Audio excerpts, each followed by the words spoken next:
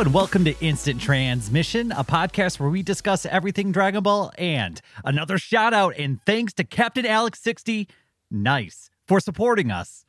Buu's reckless and uncontrollable evil has been revealed, and with the Earth and most of its defenders now turned into space dust, it's now time for our two most likely heroes to save the day Goku and Mr. Vegeta.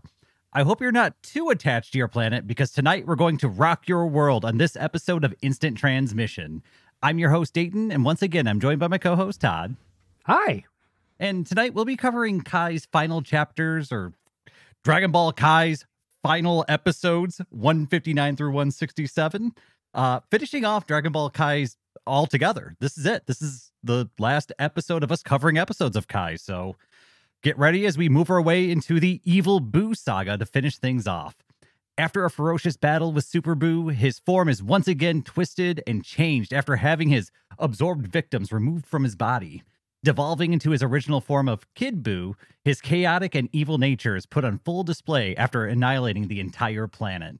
Goku and Vegeta are transported to the world of the Kais, where they draw Kid Buu to them so they can battle the monster and end his universal rampage once and for all. Goku taking the lead on this one. And with all of that covered, was there anything you wanted to add before we got things started, Todd? No, I'm ready to dive in and get everything wrapped up for Kai. Heck yeah. All right. Well, this episode begins with Goku eyeing up Kid Buu as they prepare to face off once more. With a roar, Goku powers up into Super Saiyan 3 and the battle begins. Vegeta, Hercule, and all the Kais and divine beings watching from the sidelines as the two titans of unbelievable power begin the battle that will decide the fate of the universe. This is awesome. Sean Schemmel here as the voice of Goku fucking kills it on the transformation, powering up to Super Saiyan 3. And then we dive into. I think the fighting between Goku and Buu is some of the best fighting that we see, maybe in all of Dragon Ball, period. Uh, this one, honestly, is no exception, uh, as Goku kind of like throws in some heavy blows, grabs onto Buu's antenna, like punches him multiple times, and then Buu uses the antenna that Goku is grabbing onto to wrap it around Goku's neck and then like lean in and headbutt him. And Goku eventually gets off a blast, kind of like turning Buu into pieces. And then as Buu begins to reform, he literally has to pull his head out of his ass as his legs kind of form up as the upper half, his head kind of between his legs, and his lower half pointed, or his upper torso pointed downward. Uh, it is a really great way to start off this episode. And I mean, it's it's this is, I think, probably my favorite element of Buu is how fun of an opponent he is. How they really take a lot of liberties to take kind of the weird physics of his body or his magic physics and really just go crazy with them. We see there are times where he gets punched and his body stretches way back from the blow and then swings all the way back and you know strikes Goku in the head and there's all this crazy stuff that's happening. Um he even uses himself and we've seen this before where he turns into like a big sail and catches himself as he's flying through the air. Like he's doing all this stuff that you would not be able to see with really any other opponent. And I'm glad they took these liberties. They're crazy, they're out there and they're fun. Absolutely. And you've you've mentioned specifically Dayton that you really like the kind of like Buu's anatomy and how interesting it can make a fight. I feel like Kid Buu or Evil Buu, whatever you want to call him here, I think his anatomy, his unique anatomy and his like taffy like body is on its best display here with Kid Buu. I think they use it to its uh, to its absolute peak in this fight against Goku. And we kind of continue through watching as I mean the earth is destroyed, but there are still other people who are watching this fight. We've got people on in other world some of our good people like uh, Krillin, Yamcha, they're kind of there with King Kai watching.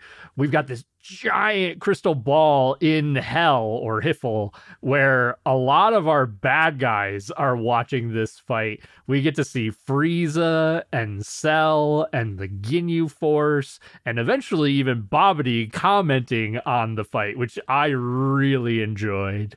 I I think um what is it? Babidi's a little little torn on who he wants to win the fight, right? Because if Buu wins, then like that's his like creation and he can kind of maybe ride those coattails a little bit. But if Goku wins, then he kind of gets revenge on Buu for killing him. So it's, you know, it's kind of a a hard pill for him to swallow watching this battle happen. He's a little bit bitter for sure. You get that impression because Buu killed his creator and it's it's like a fun little detail. He even says like, "Oh, I taught Buu all he knows," which is, you know, like a clear lie, but I mean, if you're in hell, you want to get every social advantage that you can manage here. well, um, as we flip back to the fight between Buu and Goku, Goku realizes that he's starting to lose this battle. And we see him at one point put his arms back and he charges and fires off a Kamehameha wave that seems to sap the the last of his energy. And I mean, he put everything into this, and I know it's not going to work because this Kamehameha wave is not animated super well. So I immediately know it's not going to kill him. Um, but our bubblegum villain, he regenerates all of his little well, he was blasted to bits, and then all of his little bits regenerate into even smaller kid buus. Once again, kind of going with that childish nature of the uh um, I guess that he has, his childish, reckless nature. And we see all these tiny little bits all unleash their own ki barrage. And Goku's just blasted back and falls to the ground. And we see his long golden Super Saiyan 3 hair reverting back to black as he's officially tapped out at this point. Yeah, he's gassed, man. He's he's basically been fighting Buu at his max capacity and his strongest form and and Buu Vegeta doesn't get has to- tired, right? Like I Yeah. they've been fighting for a long time. Buu's been fighting this and like for so many people for forever and just never seems to run out of gas. Yeah, that seems to be something inherently uh, maybe about the magic that makes up Buu's uh, body, but this results in Vegeta kind of going over and being like, I'm going to tap in. This is my time. You rest. Uh, I'll give you, you know, I'll, at very least, I don't think that I'm going to be able to beat him, but I'm going to give you a moment to actually rest and recuperate Kakarot. Now, Dayton, remind me if this is correct. I don't think that Vegeta has even really participated in the fight against Kid Buu up to this point. Is that right? My understanding up till this point is no. He, if I remember correctly, didn't they play rock paper scissors to see who would have the first crack at fighting Kid Buu? And so Vegeta's been on the sidelines this entire time. The closest thing he had to any interaction was almost being blown up with the Earth itself. Yeah. So, yeah, I, that's how I remember it as well. And so this there's just this one detail here that is really weird to me because Vegeta hasn't really fought, so we know I mean he can't be gassed, right? But he goes into this fight in his base form. He doesn't transform into Super Saiyan. He doesn't transform into Super Saiyan 2. He he knows even in Super Saiyan 2 that he's going to be outclassed by Buu. So it's very strange to me that he chooses to go in his base form. Do you have any thoughts about that, Dayton? So, okay, so I have a couple thoughts here. One is um Vegeta is is still dead at this point, right? Like he's got the halo. Right. Um that could be playing an effect where like Goku with his time being um brought into the realm of the living was coming to an end. Um he wasn't like recovering energy. He wasn't getting like better. He was actually like getting more tired the longer he was away from Otherworld. So I'm wondering if maybe that plays an effect here.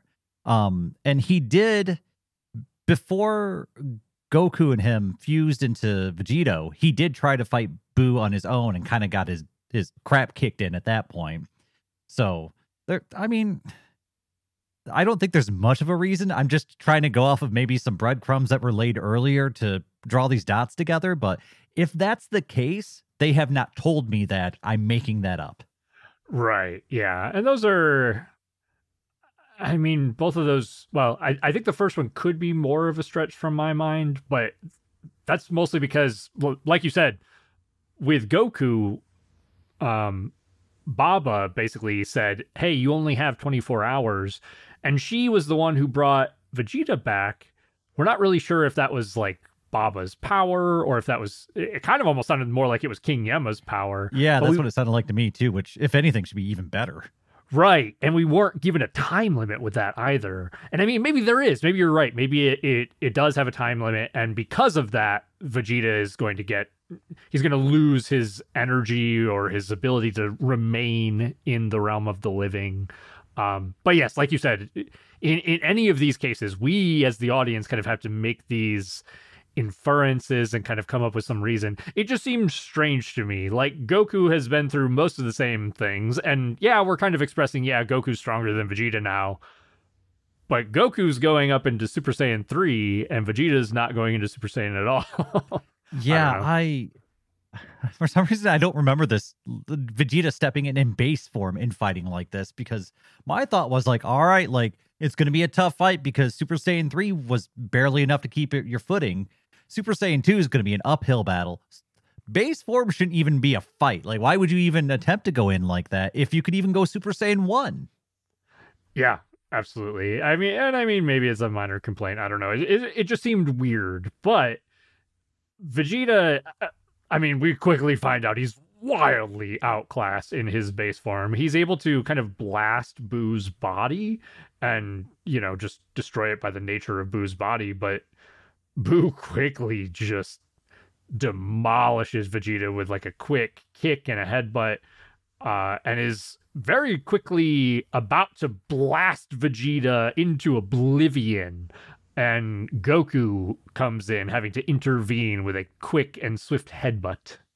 Yeah, and it's I mean, it, it's been like two minutes, right? It really hasn't been hardly any amount of time at all that Vegeta was able to to give Goku a breather.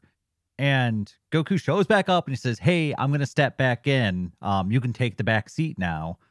And then I, I want to get your feelings on this because we get a moment where Vegeta like kind of internally begins to appreciate um i guess goku's journey to where he is now um i don't know if i described that correctly but that's what it seemed like to me Yeah, I think that that's that's about right. I mean, we even get it, it's not elaborately animated, but redrawn scenes from Goku's journey from the Saiyan saga. A lot of it is kind of like I'd almost call it like a slideshow. They're like barely animated little clips, but it's cool to see them kind of redrawn in modern style, regardless. And I, I mean, for me as a Vegeta fanboy and somebody who loves Vegeta's story arc through the Buu saga, I love this. Uh, honestly, Really? okay all right i wasn't sure how how you were going to react to that so that's why that's why i threw it up to you Yeah. Um to kind of dive into this a little bit more, I think the important part is is towards the tail end of this like little flashback as Vegeta's thinking on like all of Goku's or Kakarot's accomplishments and every time that Kakarot had surpassed Vegeta or just uh, honestly just like got better than him and then just stayed like leagues above him and Vegeta is basically saying like I thought maybe the difference was that you had friends and family that you cared about and that you were fighting for and then I found myself with a family of my own and it didn't make up that difference. And I think his final note and I'm paraphrasing a little bit here but is something to the effect of Vegeta saying that he has always fought to beat others down, to keep them down beneath him. Whereas Goku has only fought for himself and to challenge himself and see how far he can go. And this is, I, I mean, if you look at the entirety of Dragon Ball Z, this is the story between Goku and Vegeta. And uh, the cool thing is that Goku has always has always pushed himself and he's always tried very hard and he's always succeeded as a result. It's nice to see somebody like that succeed. And it's nice to see Vegeta come to that realization that the fact that the the only thing that he's been fighting for is to beat other people down beneath him is not the right way to grow as a person, whether that be as a fighter or really just in anything. So this is Vegeta finally realizing that and saying, Kakarot, you are better than me. You are the only one who can defeat Majin Buu. Yeah, I think um I think you summed that up probably way better than I could have. And I I agree with that interpretation. I do think it's it's a growth moment for Vegeta where because we've had a couple moments like this up to this point, right? Where Vegeta's been kind of self-reflecting on himself a lot throughout um, the entire Buu series, and it starts off with the the World Martial Arts Tournament, and then his sacrifice, and now, and we're kind of seeing this internal journey with Vegeta because he's kind of plateaued. He's kind of been unable to work himself out of this rut that he's been in, and we see that that internal struggle kind of playing out. And this is we're getting kind of kind of to the conclusion of that internal struggle where he actually shows that character development. Um I I do like Vegeta's kind of internal growth throughout um uh I guess the Buu series quite a bit because it's it's internal growth. It's not something where he's learning a new technique or learned a new form or something like that. It's it's much more nuanced. And when you kind of cover it, especially I don't think I noticed it as much until we did instant transmission. But it's it actually, if you listen to those monologues kind of next to each other, you see that growth and you see that whole story arc kind of come together. So it's a lot better than I think I may have given it credit for before. And I like this punctuation right here. I'm glad to hear your take on that. And I, I'm glad that you having watched it, I mean, I like I said, I love this, so it's nice to hear that you kind of have a, a more of a, an appreciation for it as well, and kind of his story because again, a lot of people don't like the Buu arc, and I I understand. You and I have talked at length about the problems with the Buu arc, but man, does it have some great moments and some great story arcs, and Vegeta's is maybe well we'll we'll see the one that I think is maybe the best coming up. But Vegeta's might is probably second best in my mind. Uh and that is the like even though we stepped away from Goten and Trunks and Gohan taking over, the one thing that I I have no idea how they would have fit this in here otherwise. The one thing that I would have been very sad to miss out on if Gohan or Goten and Trunks kind of like took the lead is this last moment of Vegeta's story arc kind of coming to a close and like you said getting that perfect punctuation at the end of his story. I don't know how we would have gotten that if Gohan and Goten and Trunks kind of took over. I don't know where that would have come in. I mean, it's now that we've seen it and we have it and we appreciate it, it's it's hard to imagine a world where we don't have it. And I mean, I'm happy with it. I'm really happy with the way that Vegeta's written in this. Um and I mean, it's yeah, I I like this conclusion that we're getting into with Vegeta. But I'm gonna keep pushing this train forward as oh, yeah. Kid Buu and Goku continue their battle. Um, this is the scene. I think I kind of mentioned this earlier, where Goku punches Buu so hard that his upper body stretches off into the distance, and he actually makes a face at Mister Satan, kind of spooking him because he's a giant child, or Kid Buu's a giant child. And then we see him kind of snap back, headbutting Goku in the face, sending him flying. Um, we get some more of those uh, kicks where he jams his foot into the ground and they come popping back up. And that's something I wanted to comment on too is a lot of these crazy and goofy moves that um Buu's using right now. We've seen them kind of one off in a lot of other places, and we're seeing all of that kind of come together in a full fighting style. I think it's actually very well written the way they they kind of put Buu together into this final battle. I agree. Yeah, that's a that's a really great detail to kind of point out here. There's I mean it's so it's so fun and engaging this whole fight with Goku and Buu because they their fighting styles feel very very distinct and very characterized for each of them. Uh you've kind of pointed that out for Buu. I'm going to point out I love Goku fucking grabbing Buu by the head and like biting his head and also just Goku like this is uh, the whole universe is at stake, right? This is a devastating battle. And there are so many moments where, despite the fact that Goku is, you know, trying his hardest and struggling, many times where Buu comes at him, Goku is making like this exaggerated, comical, goofy face, and that feels very Goku. Like I, I feel like it's it's placed in here sparsely enough where it doesn't take away the tension, but it still feels like it's really showing us who these characters are. And I think that's a tough um tightrope to try and navigate is you want to like Goku's always going to have that kind of I don't know, immature childish side to him. He grew up in the woods and basically raised himself. Um so and you're never really going to get rid of that. But at the same time, you also need to make Goku a functional adult. And they don't always do a great job of figuring out which side of that tightrope they're leaning on. And so I like it when it's written well. Like right here, Goku is serious. He is trying to win. But I mean, he's also a kid who grew up in the woods and as a child would bite people if he needed to.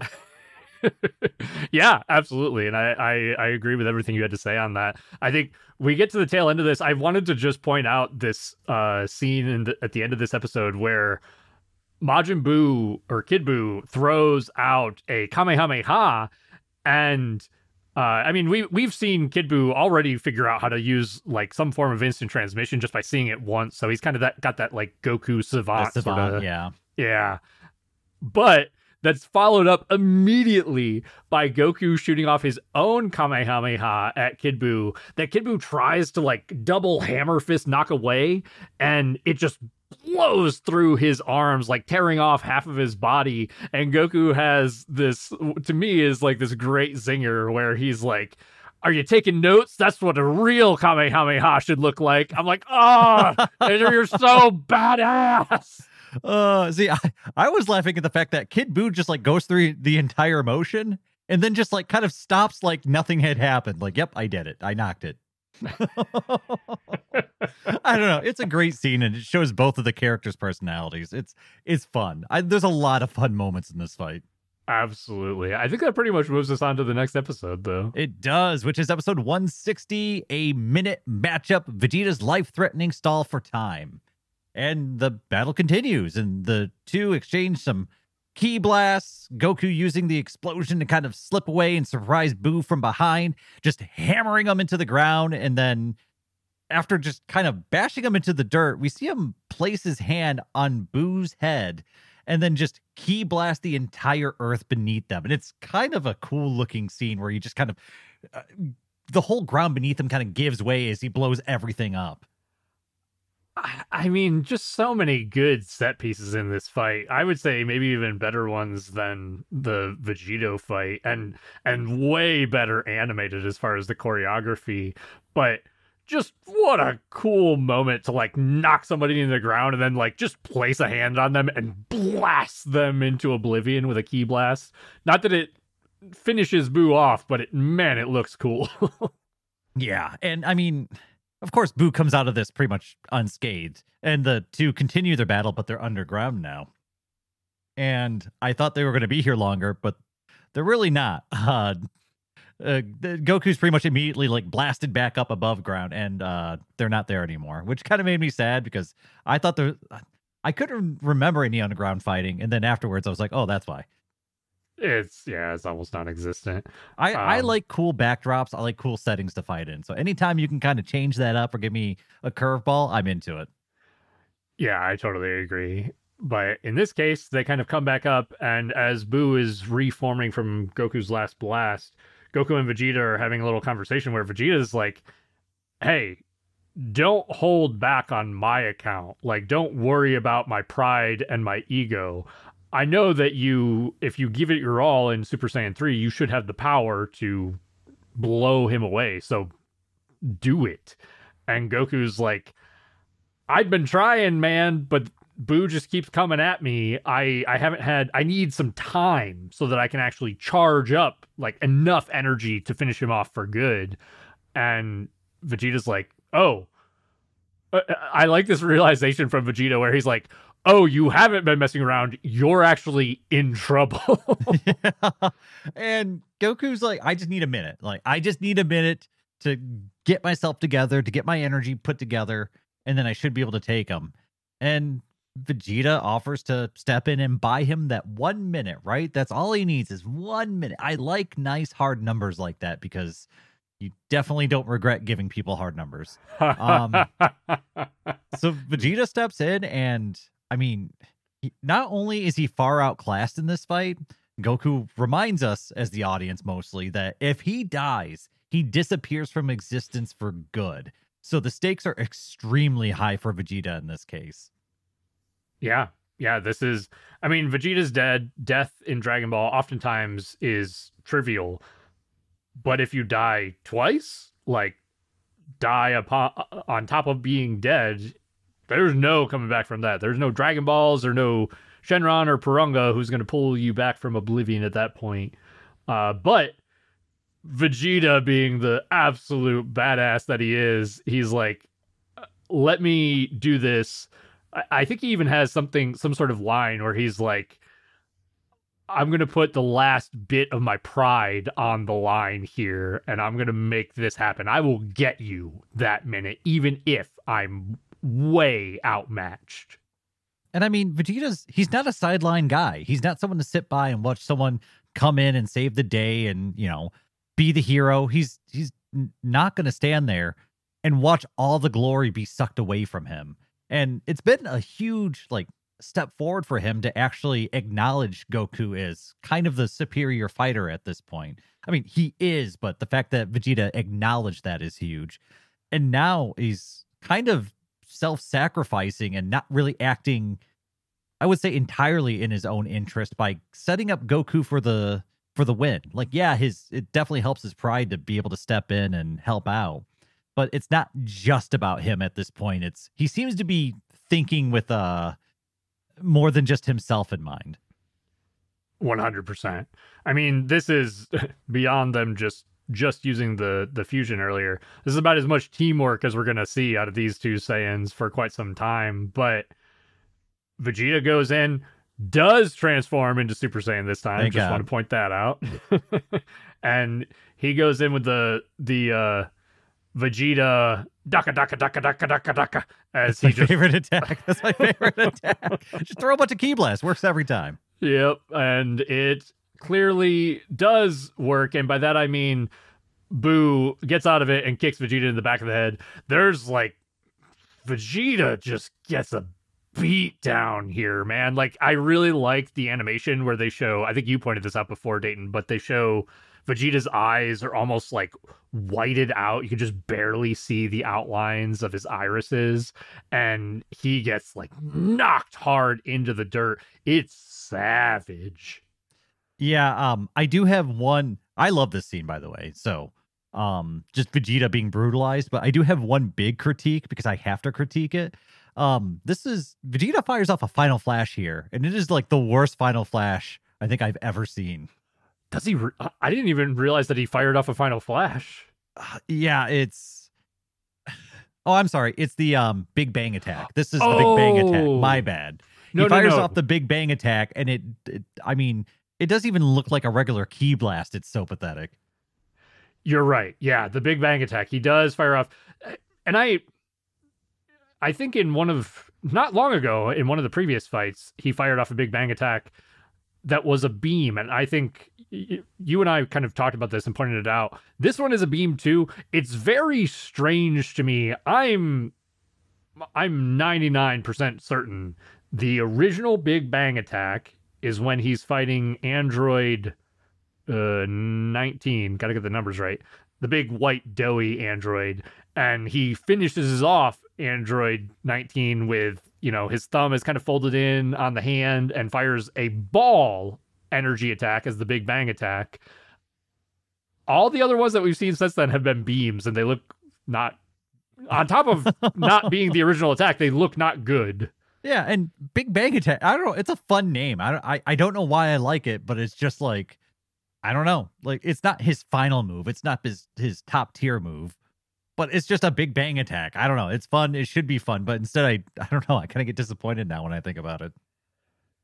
Yeah, it's a bummer. I mean, Buu completely dodges the beam, uh, just kind of like folding his body around it, and then Buu continues the onslaught of just whooping Vegeta's ass. The cool thing though here is that despite how much his ass gets whooped, I mean, he's bloody, he's wounded, he's broken, but he's not giving up. And we see him kind of dragging himself out of like this crater as Buu's trying to walk towards Goku and just like he's not letting him. He's not letting him get away from him and he's not letting this fight end at this point. And so Vegeta's putting everything on the line, even though he's got nothing left in the tank at this point. Absolutely. I want to point out too the this right before the scene you're talking about where Vegeta's in the crater is uh, I mean the visceral beating is great, but there's a, sh- a shot where Buu grabs Vegeta by his Super Saiyan hair and then places a hand right in front of Vegeta's face, like inches away, and blasts him in the face. And when Vegeta gets out of that crater that you were describing, he's no longer in Super Saiyan form. His face is covered in blood. But like you said, he is the Saiyan Prince, and he full on taunts Buu and is like, Motherfucker, get back here. I'm gonna whoop your ass. Well, um, I'm I'm struggling to remember here, Todd. Um, Vegeta's buying all this time. I think it's been about a minute. Um, so Goku should be charged up at this point, right? Everything should be everything should be hunky dory. Yeah, should be hunky dory. Except all of our people kind of watching the fight, they're like, "What's taking so long?" And Goku, even himself, is basically like, something's wrong this isn't this isn't working. And despite vegeta kind of continuing to get his ass beat uh goku i think at this point basically says this it, there's maybe something about the fact that i'm the last time that i used super saiyan 3 was when i was dead. And so using it in a not dead body because remember that the grand supreme kai gave his life for Goku to come back, uh, Super Saiyan 3 is now draining his energy rather than him kind of being able to charge it up. Yeah, and I mean, while Goku's going through like this internal like explanation, I mean, Vegeta is being choked, he's being slammed, he's being electrocuted, which is something new. Um I mean, hope is kind of is at its lowest at this point. And Goku's thinking about diving back into the fight even though he's not ready. But thankfully, the real hero of Earth appears. And from off screen, from the top of the turnbuckle, baby, play the Stone Cold Steve Austin music because Mr. Satan has just appeared and he's got some smack talk worthy of the world champ that he's going to deliver. And he tags in and he prepares for battle.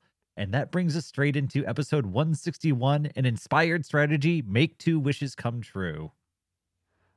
It absolutely does. And diving into what I think is probably the best story arc in the entire Buu arc, or the best character arc, Mr. Satan is here to he's going to try to deliver the smackdown. This the start of this episode is incredible to me because Kid Buu goes on the offensive. He basically takes a swipe at Mr. Satan. Uh, but there's this just this brief moment of hesitation. And it's just enough that Buu, despite his vast speed, uh, misses Mr. Satan as Mr. Satan kind of like bows into a grovel at Buu's feet.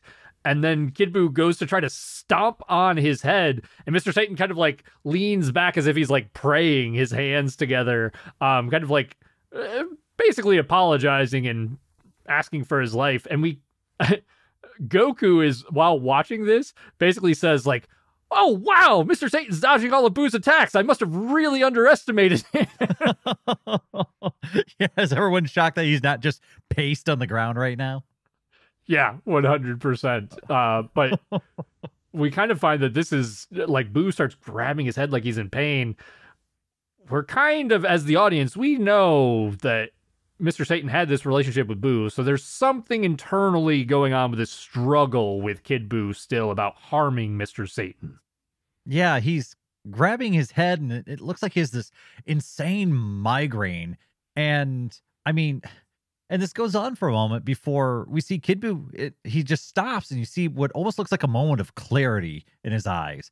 And we see him kind of hawk back and fire out this big, gross spit wad that flies out and then poofs into the big fat Majin Buu that we all know and love. But like you said, we as the audience know of their relationship between Majin Buu, Fat Majin Buu, and Mr. Satan. And so without this uh, relationship inside Kid Buu's body, um, those attachments are gone now. There's nothing holding Kid Buu back. Yeah, I I had to stop and think about this for a little bit too because we got to see Goku and Vegeta, specifically Vegeta, rip Fat Buu out of at the time what was Super Buu's body.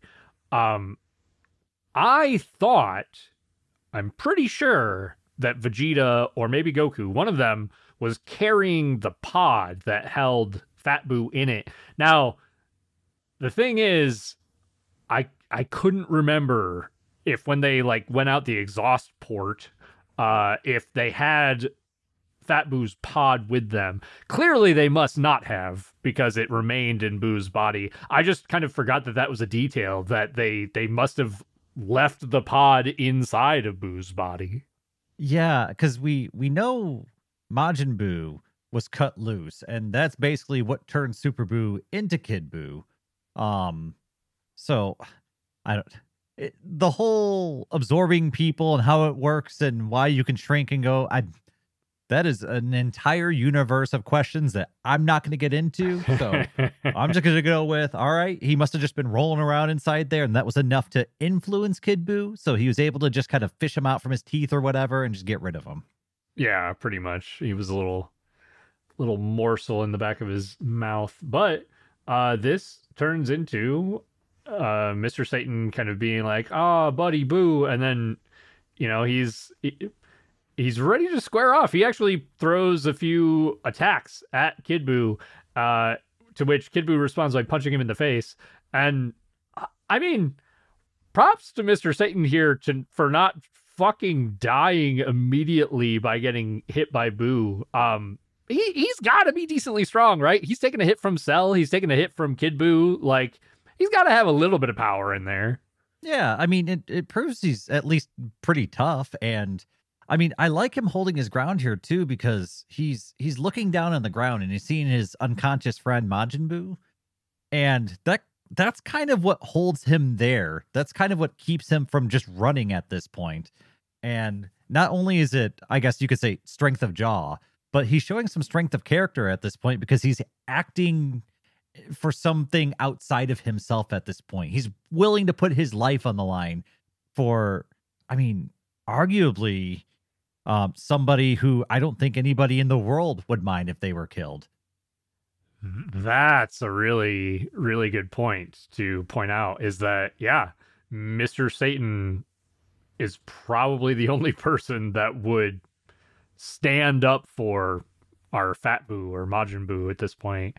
Um, admittedly, Mr. Satan throughout this entire sequence is basically saying like, "Oh, it's just a dream. Uh, this is too crazy. I don't know what's going on." and I mean, the funny part is, is kind of the way he's knocking around, uh, Kid Buu's knocking around Mr. Satan. He's actually mildly entertained by this. I think it's kind of like like it probably feels good to get those cuffs off your hands and actually be able to act on this person you've been probably trying to kill for a long time now.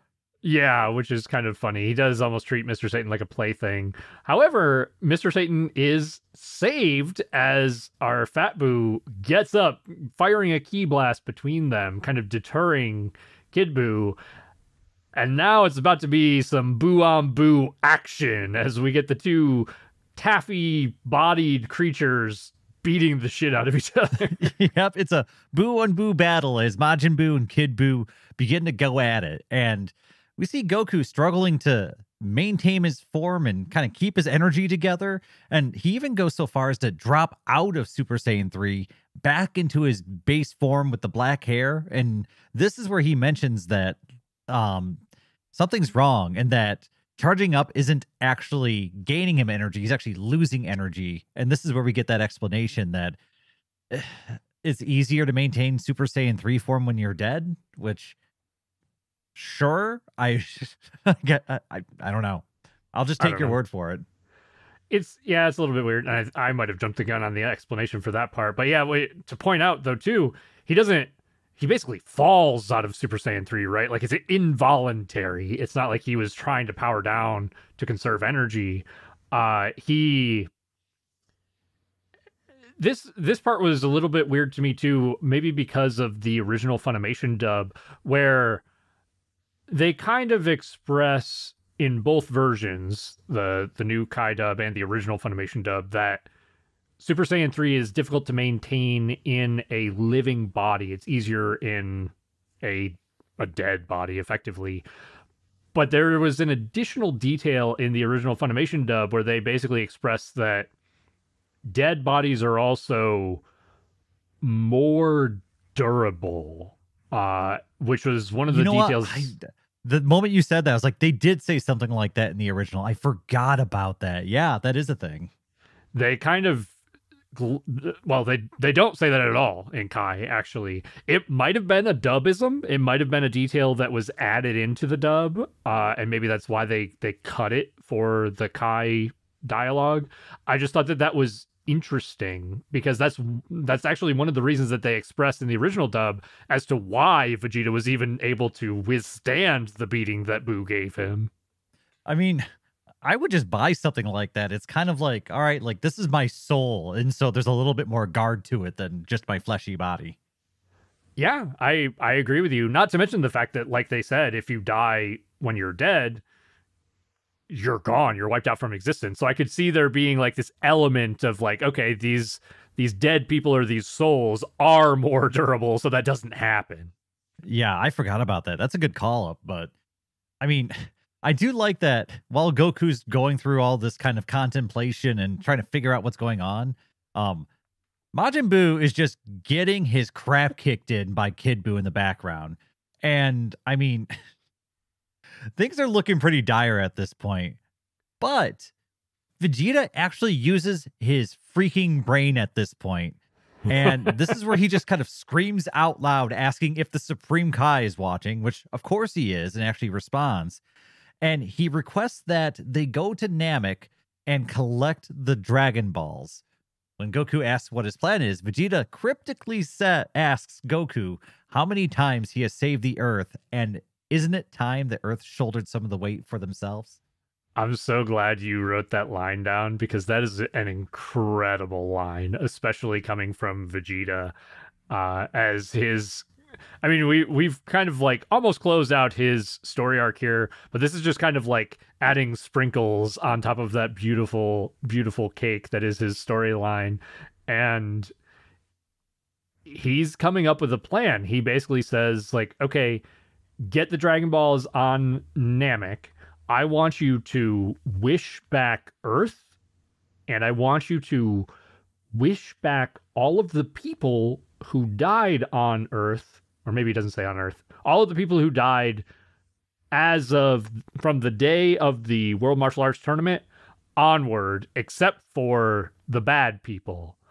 Uh, and he quickly expresses like Goku's kind of like that's that's more complicated than it needs to be. Why don't you just wish back the people who killed Buu? And I love this detail because Vegeta says, if I did that, it wouldn't bring back all of those innocent people that I killed during the World Martial Arts Tournament. Yeah, and I mean, it's such good attention to detail, and it really shows you how much Vegeta thinks about these things, right? It's his his tactical brain is going into overdrive to figure out a solution to all this stuff. And on top of that, it's also kind of him, I guess, redeeming himself from his earlier actions. So Yes. when he had the internal monologue at the tournament, it was all evil, petty, jealous thoughts. And now he's having um, the completion of his story arc where he's trying to make up for the shortcomings he had earlier. I mean, it's it's a great arc. One hundred percent. That's that's.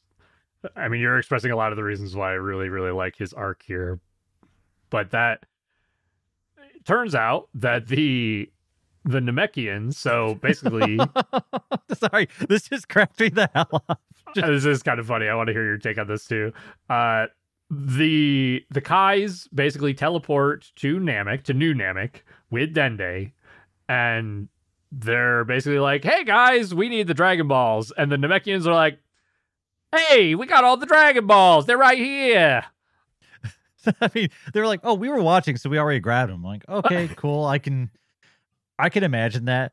And there's this moment where, uh, where Dende panics because he's just like, "Oh shoot, that's right. The Namekian dragon can only revive one person," and like the new Grand Elder's like, "No, bro, we upgraded him. He can revive infinite people now."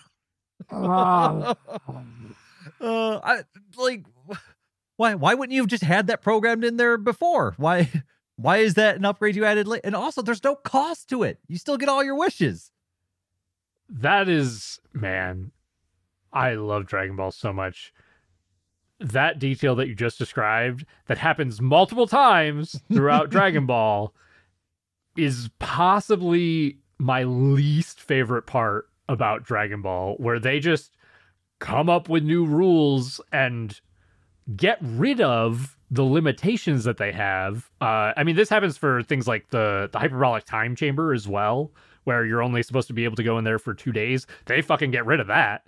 Uh, but they also get rid of the limitations on the Dragon Balls specifically. Like the the Earth's Dragon Balls originally could only grant one wish, then they two, and then I think eventually three. Uh, the Namekian Dragon Balls could only bring back one person per wish as far as reviving people. And then they're like, yeah, we got rid of that. They're better now.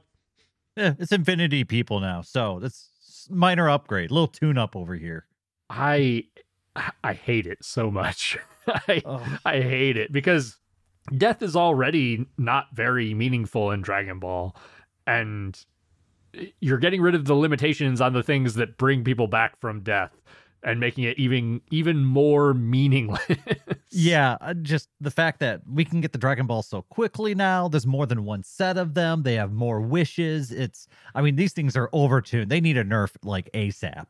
Yes. Uh, we'll we'll have to talk about that when we get to GT. But in the moment, they've got these Namekian Dragon Balls with three wishes that they can just wish back infinite people, and that's pretty much what they're gonna do here. yeah, that that leads us into episode 162. Share your spirit energy with me. I'm making a huge spirit bomb. I like how matter of fact that episode name is. uh, just spoiling all the details. But uh, before we get those details, we basically get Porunga being summoned on Namek. And uh, all the all, while all this is happening, the Buus are fighting, but they're going to kind of enact Vegeta's plan here. And Dende wishes for Earth to come back and wishes for all those people to be brought back. And it takes a little bit of time because it's a big wish. But with our tuned up Porunga, he basically makes both of those things happen. And I think, uh, correct me if I'm skipping any details, Dayton, but I think this basically culminates in Vegeta basically revealing his big plan, which is the title of this episode. It's Spirit Bomb time. Okay, so there's a few um, flavor notes that I really like um, during the Porunga scene. One yeah. is the Elder Kai commenting on how the Dragon Balls break the natural order and him just kind of like lamenting their existence. And I agree with him. So I have to comment on that. He's correct. I'm pro Elder Kai. He's, he's, he's right on t- topic here. He's right on point. I'm on board with that. And then on top of that, I love that when Dende's going through the motions of summoning the dragon and making the wishes, he has to speak some Namekian. And he kind of is like, all right, I, yeah, I think I remember how to do this. Like, okay, I'm a little rough on it. I think I said that right. And I like this because Dende was was a really small kid when he came to Earth. And so he learned that language when he was very, very young and it's been over 10 years since um since he's been back to Namek or even spoke any Namekian probably. And so I like that little detail of, yeah, I think I remember, and just him trying to like think about it and hoping he's saying things right. It's such a small detail, but it it's one of those ones that when he said it, I was like, oh yeah, that does make sense. It's a cool detail. I actually uh, kind of the way that I interpreted it too, the way that it's portrayed is that Dende does say some Namekian, and then we kind of get it, of course, for our perspective in English. It kind of feels like they're giving us like, okay, he's speaking Namekian, but here's effectively the translation that he's asking for, so that everybody understands what's going on. So it's it's really well done. I really liked the presentation in that way. Yeah, and uh, getting back to your point where Vegeta kind of reveals his plan, this is where that kind of cryptic, like, you know, maybe the earth should shoulder its own weight comes into play here. Um, Vegeta specifically did these things in this order so that way he could bring back the earth and its people and then use their energy to form that spirit bomb so that way the planet can, quote unquote, finally stand for itself. And um, so Vegeta needs to get his message out to the people to ask them for their energy. And we find out that the Elder Kai isn't capable of broadcasting Vegeta's message, which is funny because a eavesdropping King Kai is capable and offers to lend his hand. I do love that. Like the the Kais are like, oh no, we can't do that. Uh, but King Kai's like, hey guys, that's kind of my specialty. I got you. and I mean, it's great too because it's one, you love seeing old characters kind of come in and play a role like that. Two, everyone loves King Kai, and if you don't, then you're wrong.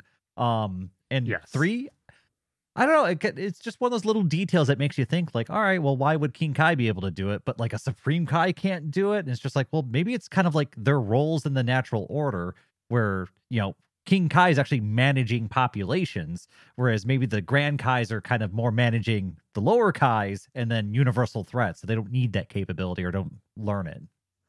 That's a that's a good thought. I I also like the idea that it just to add to that that it kind of plays into their character designs too, where King Kai specifically is drawn to look he he almost looks a little bit like a bug, but he has these big ass antenna like he's a fucking satellite dish in human form. So like it, it's cool that they specifically thought about that for his character design as well.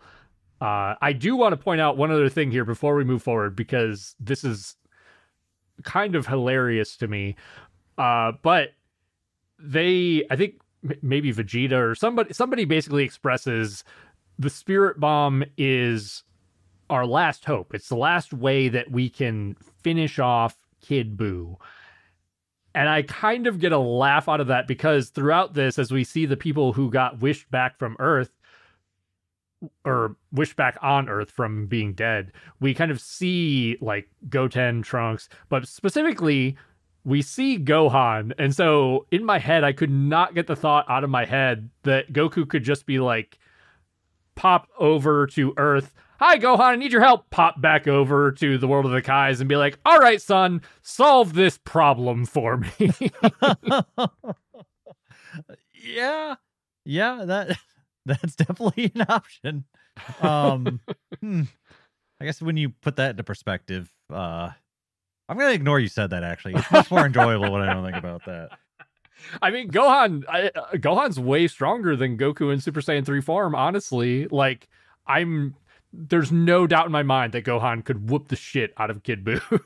Well, and part of me is like, like think beating Buu is only in contention right now because Vegeta and Goku were too prideful and arrogant to just use the damn Potara earrings. And on top of that, they destroyed them rather than giving them back. So they're not even on the table now. So it's like you guys are saying that if you don't win, the universe desor- deserves to be destroyed. Like, I get it. It's in their character to be like, we don't want like like shortcuts. But maybe someone else does. Maybe I, the rest of the universe would like a shortcut to living. I don't know. yeah, I love that you pointed out that they they destroyed them. I I didn't quite catch that detail when we went through it, but that's hilarious that they just got rid of them. It's also just kind of a jerk move. They could have just handed them back. Yeah, that's that's also true. I don't know. There's a few details in here that are just like this feels a little bit weird, maybe just kind of funny, but I'm okay with it for the narrative that we're gonna get here. Well, speaking of uh, narrative that's, I think, in line with character and funny, is Vegeta gets his microphone to the entire planet, right? And he's giving this message, asking everyone for their energy and talking about their fight with Buu. And it's it's actually at first kind of not a bad message, but then he punctuates it with like, "I don't care what you think or feel, just do it." And that's not a very good exiting note when you're asking people for help. It's funny though. It's so funny and it's so in character. Like Vegeta has gone through his arc. He's kind of figured out like, oh, you know, my way of doing things is not always the best way and maybe Kakarot's way of doing things has some validity to it. But that doesn't change him completely as a person. He's still a bit of a brash, kind of rough around the edges uh Saiyan and social graces are certainly not his strong suit. I mean, this is still a giant leap forward for him though, right? Like he's actually asking people for help and trying to like get some teamwork going on here. Absolutely, which is why I like this because it is a giant step forward, but it's not too far forward where I feel like it seems ridiculous or out of character. Uh, I I like that he he has this great idea. He's willing to ask for help, but he's not good at doing that. Yeah, and um, as a result, the spirit bomb begins forming, and um, yeah, it's not forming as quickly as it should be. And Goku even yells at Vegeta that the the bomb is not really like getting bigger.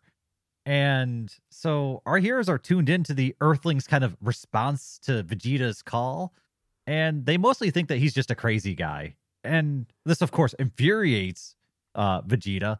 But at the same time, do you blame the Earthlings, considering the last time a voice was in their head, it was the evil wizard Babidi who was terrorizing the planet? Like, why the hell would you listen to that noise? I think that's even pointed out in the narrative here by somebody too, which is a a great detail.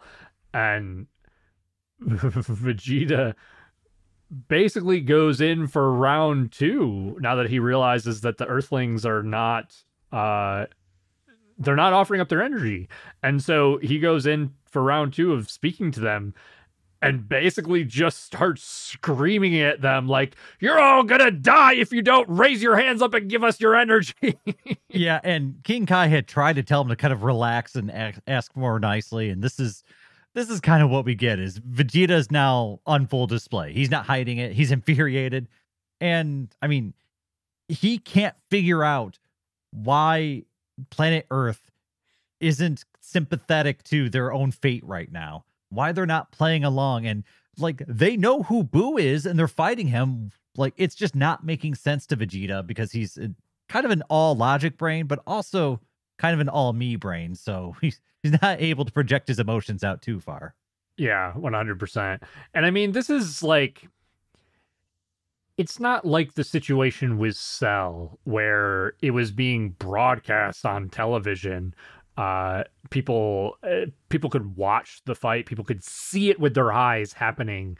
This is just some voice speaking in your head like you're you're now you've you've been resurrected uh, which who knows what that feels like to all these people on earth, but they could feel like, oh, you know, maybe that was a weird the whole Buu stuff was a weird fever dream. Maybe they believe the Buu stuff, but they don't see the immediate threat of Buu. They just hear this voice telling them that they are fighting Buu, uh, this voice that they don't know or recognize. So I would honestly probably do the same thing. Like, what are you supposed to think about that? It's such a weird situation.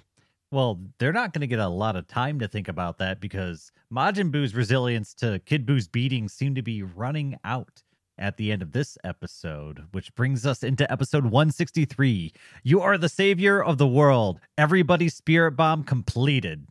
And we see Vegeta kind of bites lip, hunkers down, and lets loose the word please in his final gambit to try and get the Earth to play along. And it works a little bit.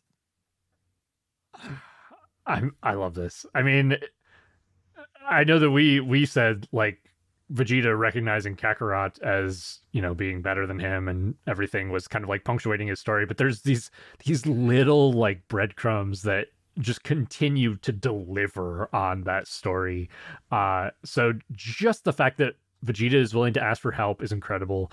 The fact that he said he says please, he literally says I'm begging you, please give up your energy so that we can defeat Buu. Uh, crazy, wild thing for him to say that he never would have said in a million years before this. The cool thing, though, too, that to add on to that, is we get to see, and this is a really cool element as we're wrapping up Dragon Ball Z, is we get to see these figures who were a part of Goku's story early on, people that he had a big impact on their life. Probably when, I mean, for the most part, when he was a child. Like, we get to see Eighter, Android 8, uh, back from the original Dragon Ball. Oh, we get to his old friends kind of responding to Goku's call for help. Yeah, exactly. Maybe I'm jumping the gun here. Maybe this is after Goku expresses, uh, because I think he gets a chance to talk to uh, Earth, doesn't he? Yeah. So- Um. So we get a shot of um, uh, Mr. Satan. He's seeing his his Majin friend being kind of beat up right now, right? And he actually steps in to try and remove Kid Buu from his buddy. And all this does is it draws attention to Goku and the spirit bomb he's holding. And this is where Goku realizes he's in trouble and he needs that energy right now because Vegeta is forced to step out and buy some more time at this point. And Vegeta doesn't really have anything in the tank. So this is where Goku he screams out and he's begging Earth for their energy. And this is where we get, I believe it, it was Upa was the name of the uh the the native tribe. Um they recognize Goku's voice and they give their energy. We get Eighter and the Snow Village, and we get we get so many familiar faces. All, all these people that Goku touched in his original Dragon Ball series journeys, and it's kind of a quick flash through of of all these old characters that you may have forgotten about at this point. This is really cool. I want to dig into this just a little bit more because Upa and his father Bora, they show both of them, but Upa is all grown up. He's like a jacked dude at this point. Uh and they are quick to offer up their energy when they hear Goku's voice. Like you said, Eighter and Suno uh from the the snow village. One that I love in here is Android 17 and it's I mean it's such a brief shot but it shows him with like a gun uh, holding up what looks to be these poachers and he has a great line because he points the gun at these poachers who raise their hands up into the air and he's like Oh good, yeah. I want I was thinking about doing that too and he raises his hand up to offer up the energy. it's such a good line. And Oh, last I hold wa- on, hold on. Quick question: Yeah, yeah, yeah. What does raising your hands and donating energy do when you're an android and have unlimited energy? did we did we find an infinite combo? Is this does this break the game? We have broken the universe. The spirit bomb should just continue to grow and grow and grow. Yeah, yeah. Okay, that's it. We we broke the game, guys. You don't need to drain anymore. yeah, no, that's a good point. Um, something we're going to have to basically shut our brains off for for that Already one. did. Yep. But but uh, the other, the last one I wanted to point out, and it again is a like a super brief shot. But a character who was basically forgotten about when we transitioned from Dragon Ball to Dragon Ball Z is Launch. Launch with her. Did she get off the bus? She got off the bus. I yeah. thought, okay, that stuck in my head. I was like, I recognize that character, but I don't remember why. Yeah, okay. Oh my gosh, yeah, that is a throwback. That's such a good throwback. Like she she has not been seen in all of Dragon Ball Z, I'm almost certain. And so to throw her back in there, but just to throw like the important part here is we're getting to see all these people that Goku has touched their lives and see I mean, we're going to kind of see this going forward, but the idea is that because Goku has touched so many people's lives, that becomes his power in this moment, quite literally, as they offer up their energy to his spirit bomb. I love what's kind of happening to the backdrop of this too, as Gohan, Goten, uh, Trunks, and Piccolo all decide that they're going to do some groundwork to try and help out as well by just telling people that you know to give your energy to try and convince people. And Goten and Trunks like end up on a farm and they're like eating corn. They're not very helpful. No one's listening to Gohan. Um, and all that happens with uh Piccolo is that people recognize him as the Demon King Piccolo and just flee the scene as soon as they see him. It's perfect. I love it. I got such a good laugh out of that scene with Piccolo. I was dying. I, I totally forgot about that, but it makes absolute sense that people are just like terrified because Demon King Piccolo tried to take over the world. and he he killed a lot of people, man. Like he was wiping out entire cities. He's probably one of the biggest first big threat that they eh, the Earth had probably ever experienced. At least it feels like that. Yeah, yeah. At least from from our perspective, from what we know of, for sure. Uh, but we kind of continue forward as Fat Buu kind of gets knocked out of the fight at this point. I think we kind of glossed over it, but it's nothing super significant. But Vegeta has to jump back into the fight against Kid Buu. Uh, Kid Buu now recognizing the danger that is the Spirit Bomb that Goku is charging and kind of like moves forward to attack him. But Vegeta is able to at least hold Kid Buu off, uh, just kind of like blasting him and keeping him away from Goku for the moment. Yeah, and Goku's frustrated at this point because once again their their call for help was ignored. And he even yells at the planet once more, even calling them dumbasses, which is I mean, that's a big boy word that I'm not used to hearing in in Dragon Ball. And Mr. Satan's kind of listening to all of this and we see him kind of just yell out in frustration to like to help and how dare they defy Mr. Satan. And to his surprise, they actually hear him. And this is where our guy kind of steps in and the champ kind of shows what he's worth because he begins just buttering up Earth's population, just getting them to go along with the plan, telling them that the champ is on scene and that, you know, if you raise your hands, he's going to save the day. And we start going through the streets and people are, I mean, they're lifting their arms, they're chanting Satan's name, and they begin the ritual. This could be the best character arc in the Buu arc. it's so fucking good. oh, because this whole time you're thinking he's kind of like a gag. And then you're like, all right, he's a gag, but he's also like kind of a you know, a relatable character. He's kind of a fun character, whatever. And then now it's like, oh wow, he's actually playing a major role. So we have to stop and talk about this about the fact that Mr. Satan took the credit for defeating Cell when, you know, effectively it was Goku and Gohan, uh, essentially Gohan, but uh, between the two of them, they beat Cell and Mr. Satan got all the credit for it. All the the fame, the riches, the accolades, the status, he took all of that. And you know, I think as as the audience, you're kind of supposed to be like, "Oh, fuck that guy. He's you know he's a jerk. Like he he didn't do anything, and he got all this this recognition for doing nothing. He kind of stole all of those things, and now here." Because he got those accolades and he stole that status, he uses that status to uh, the status of you know the savior of earth which he clearly was not he uses that status as the savior of Earth to truly become the savior of Earth against Majin Buu. Incredible writing, unbelievably good story arc. Yeah, and I mean, I don't, man, I don't know if this was his plan for his character this whole time, but I mean, if it was, that is a lot of foresight to go from Cell, this this throwaway character who you're probably annoyed with the first time you meet him, to instrumental in saving the the universe from a universal threat. And I mean it's funny because when you think about it, if if say Gohan got credit for saving the planet, I don't think he would have wanted that.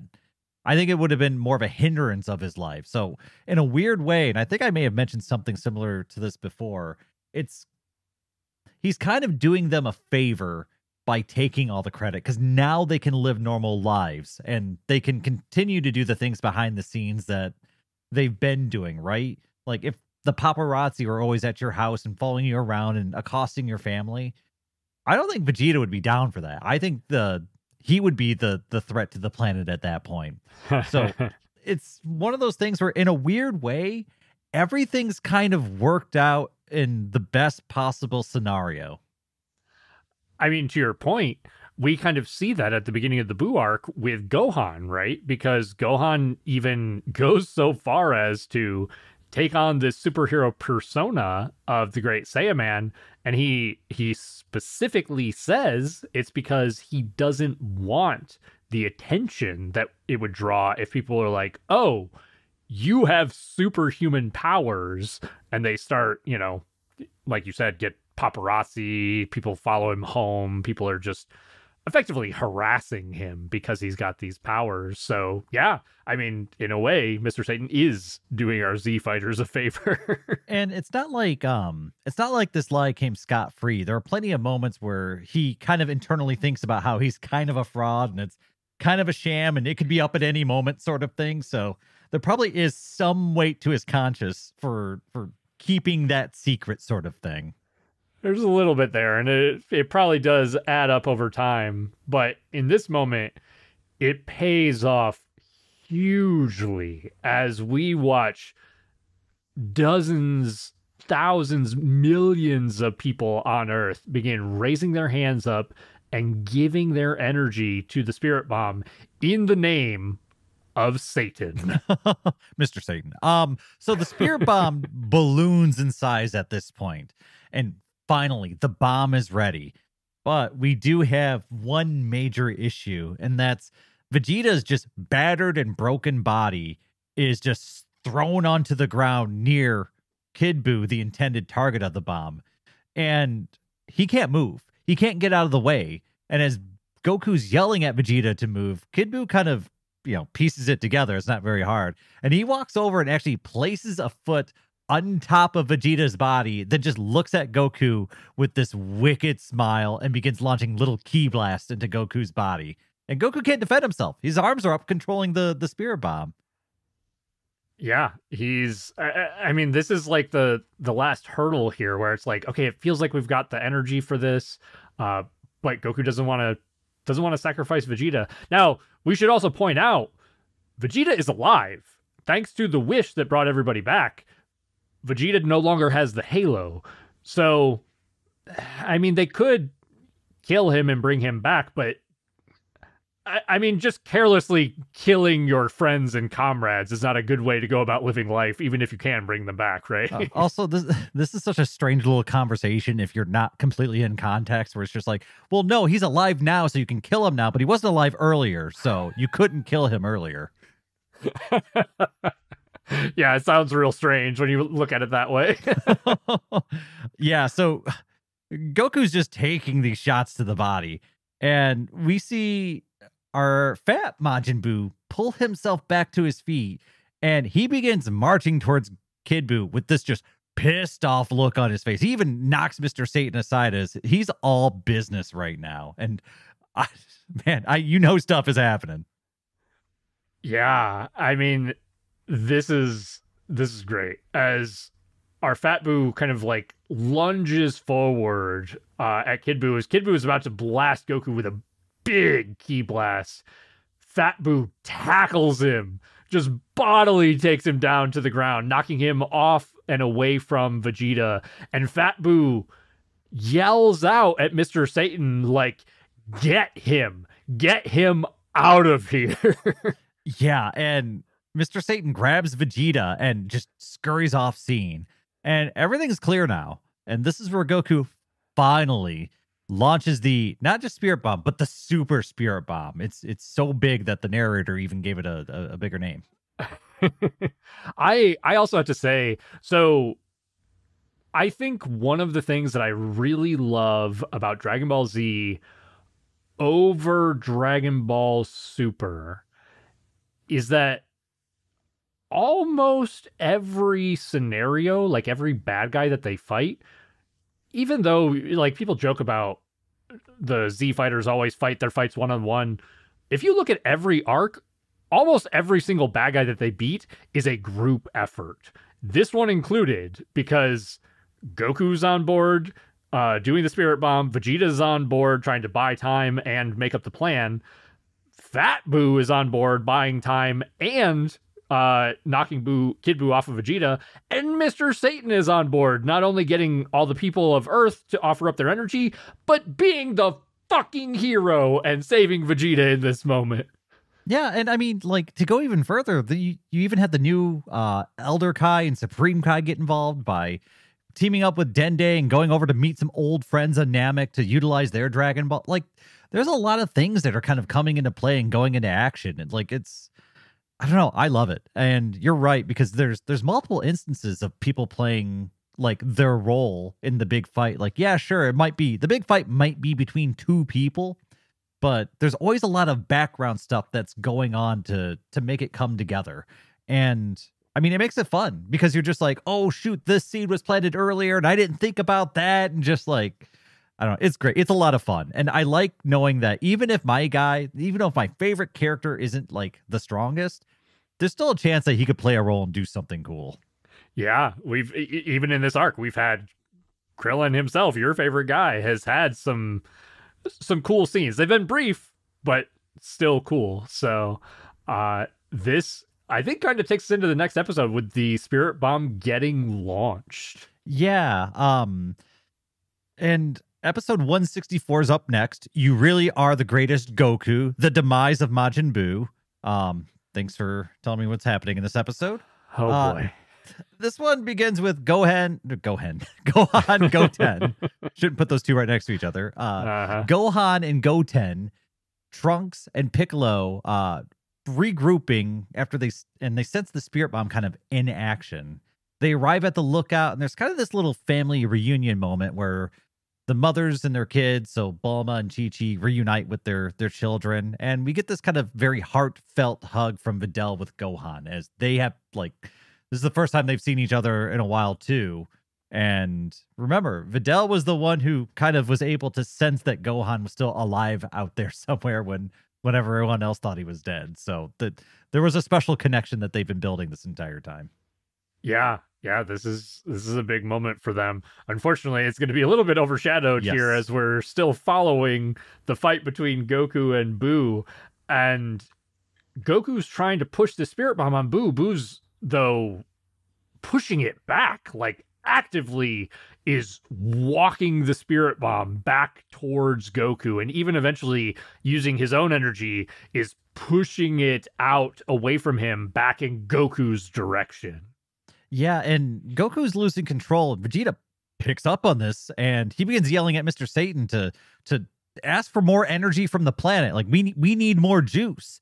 And King Kai steps in and says, like, no, don't do that because if they if you take any more from them, you could take their lives. And this is right after you've just resurrected all of them.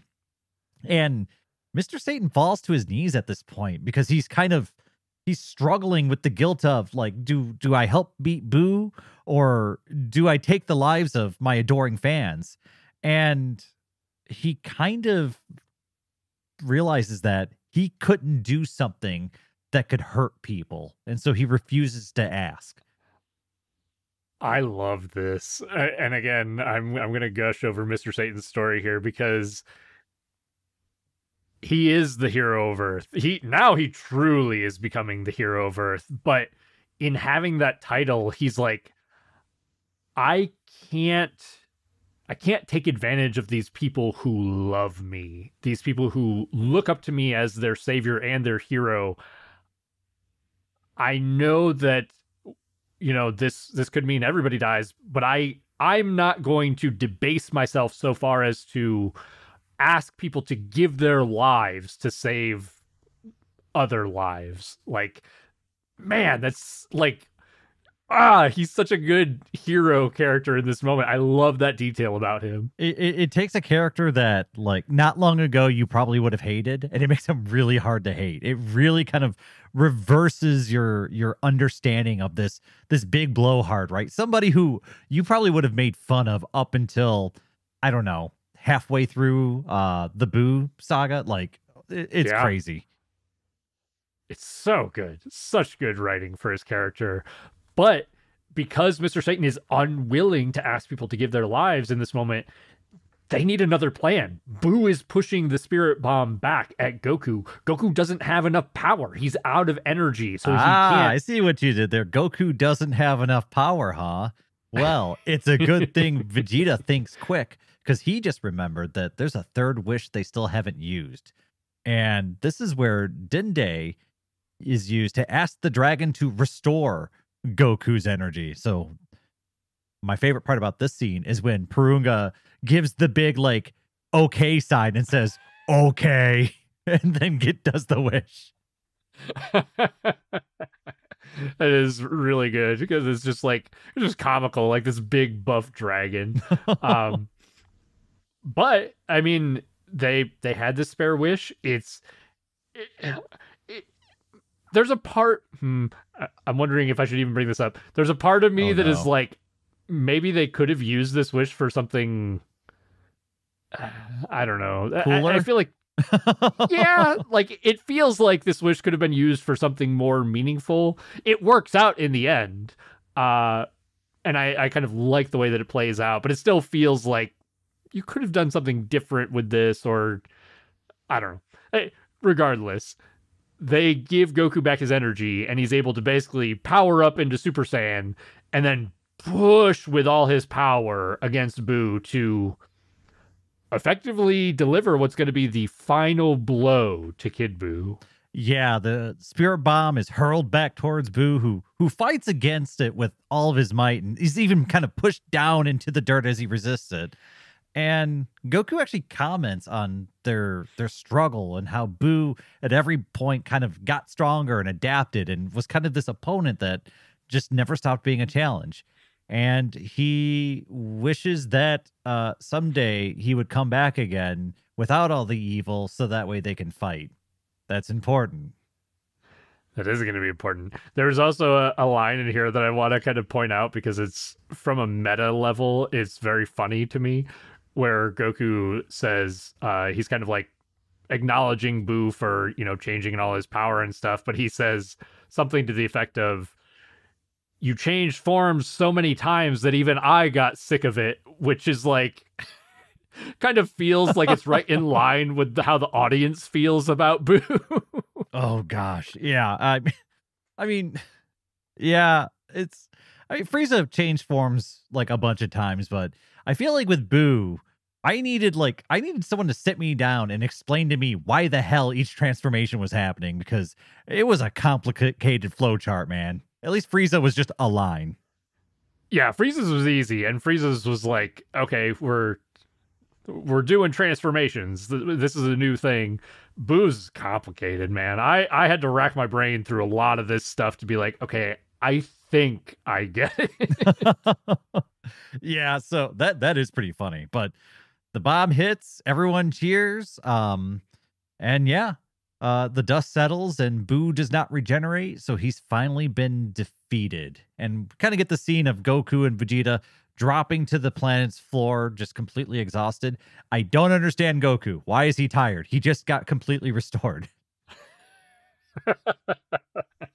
this is this is kind of a weird thing because we're about to see well dende basically comes in to heal them. You because dende heals goku i kind of get the impression that goku is still damaged like he's still beaten up but he got his energy back his power back almost like delineating those two as two separate things i guess. I don't know. It's it's weird Yeah, I, I'll take your word for it. It was just one of those things where restore Goku's energy. And then he's like, after the battle, he's like, I'm tired. I'm like, but no, you should be full of energy. but yeah, and it's interesting, right? Because we get Goku and Vegeta kind of taking that moment when they're completely exasperated and they give each other a thumbs up, which is kind of funny. Um, it's you know, Saiyans bonding. I guess it's how they do it. Um, and we see that uh, Mr. Satan makes this announcement to Earth, and so everyone on Earth knows that Buu's defeated. Um, it's a good thing he does that, knowing what happens in not too long. Uh, yeah, I mean, it's interesting, right? Because the next thing that happens is they come across Majin Buu, Fat Buu, who is currently unconscious, but very much still alive. And there's this kind of moral dilemma of what do we do with this? Because Mr. Satan, of course, wants to help his friend. And Vegeta, of course, says, This, your friend, has killed countless people and a form of him blew up the freaking planet. So no, I'm going to vaporize him. And I kind of like these conflicting kind of ideas going at each other because me as an audience member, I'm like, yeah, Fat Buu's not so bad, but also, how does that thing like exist? So it's it's a fun little dilemma, but eventually we come to the conclusion that um Goku wants him to stay alive so we don't kill him. and I mean, this is like this is uh, in line with very in line with Goku's character, right? I mean, the funny thing is, if we want to draw some parallels here, is that Goku is basically saying, like, yeah, let let Buu live. Like, you know, uh, he's probably not that bad of a guy. This is uh, while Vegeta's saying, like, let's kill him. This is exactly what Goku did for Vegeta at the very beginning of this series. oh, that is funny. Yeah, it's, it's just the the tables are a little bit different this time. And yeah, really interestingly, Mr. Satan is standing between Vegeta and Vegeta's prey at this point. And that is a very brave place for anybody in the universe to be because I mean, up till this point, Vegeta would probably just vaporize him and Majin Buu, not think twice about it. Mr. Satan is the fucking hero we deserve, man. I I also love that Vegeta is saying like if you don't get away from Buu, I will blast you. But you can tell from the way he's talking and his facial expressions that he's he's wavering. Like he doesn't want to kill Mr. Satan. Yeah, and I mean, so we've decided that we're not killing Buu. Dende is going to get a patch back up, but the Supreme Kai, who's unseen, points out that uh, Buu can't really live on Earth at this point with all the crap he's done. And don't worry, uh Goku has a plan, which is to use the Dragon Balls to erase everyone's memories of him. This feels I mean it works out in the end, but as much as I don't this like is the kind of garbage that I hate the Dragon Balls for. You exactly. don't actually have to solve this problem. Exactly. Right. Like I mean, this is how Goku basically gets Buu to be able to be part of the group and be able to live on Earth and everything. But yes, it it feels like a wild abuse of the Dragon Ball's powers. oh man, like like oh, we're just we're just going to wish for this to not be a problem. Which don't get me wrong, we do that with a lot of things and I'm critiquing this show because we do it with too many things. But this just feels like I mean, this feels like blatant abuse. This feels like going a limb too far where it's like, okay, like if anything, this was just a narrative thing that you could have maybe have written some cool lore for or done something for. But instead, we, we just want to make sure that this plot hole's gone, so we're gonna wish it away.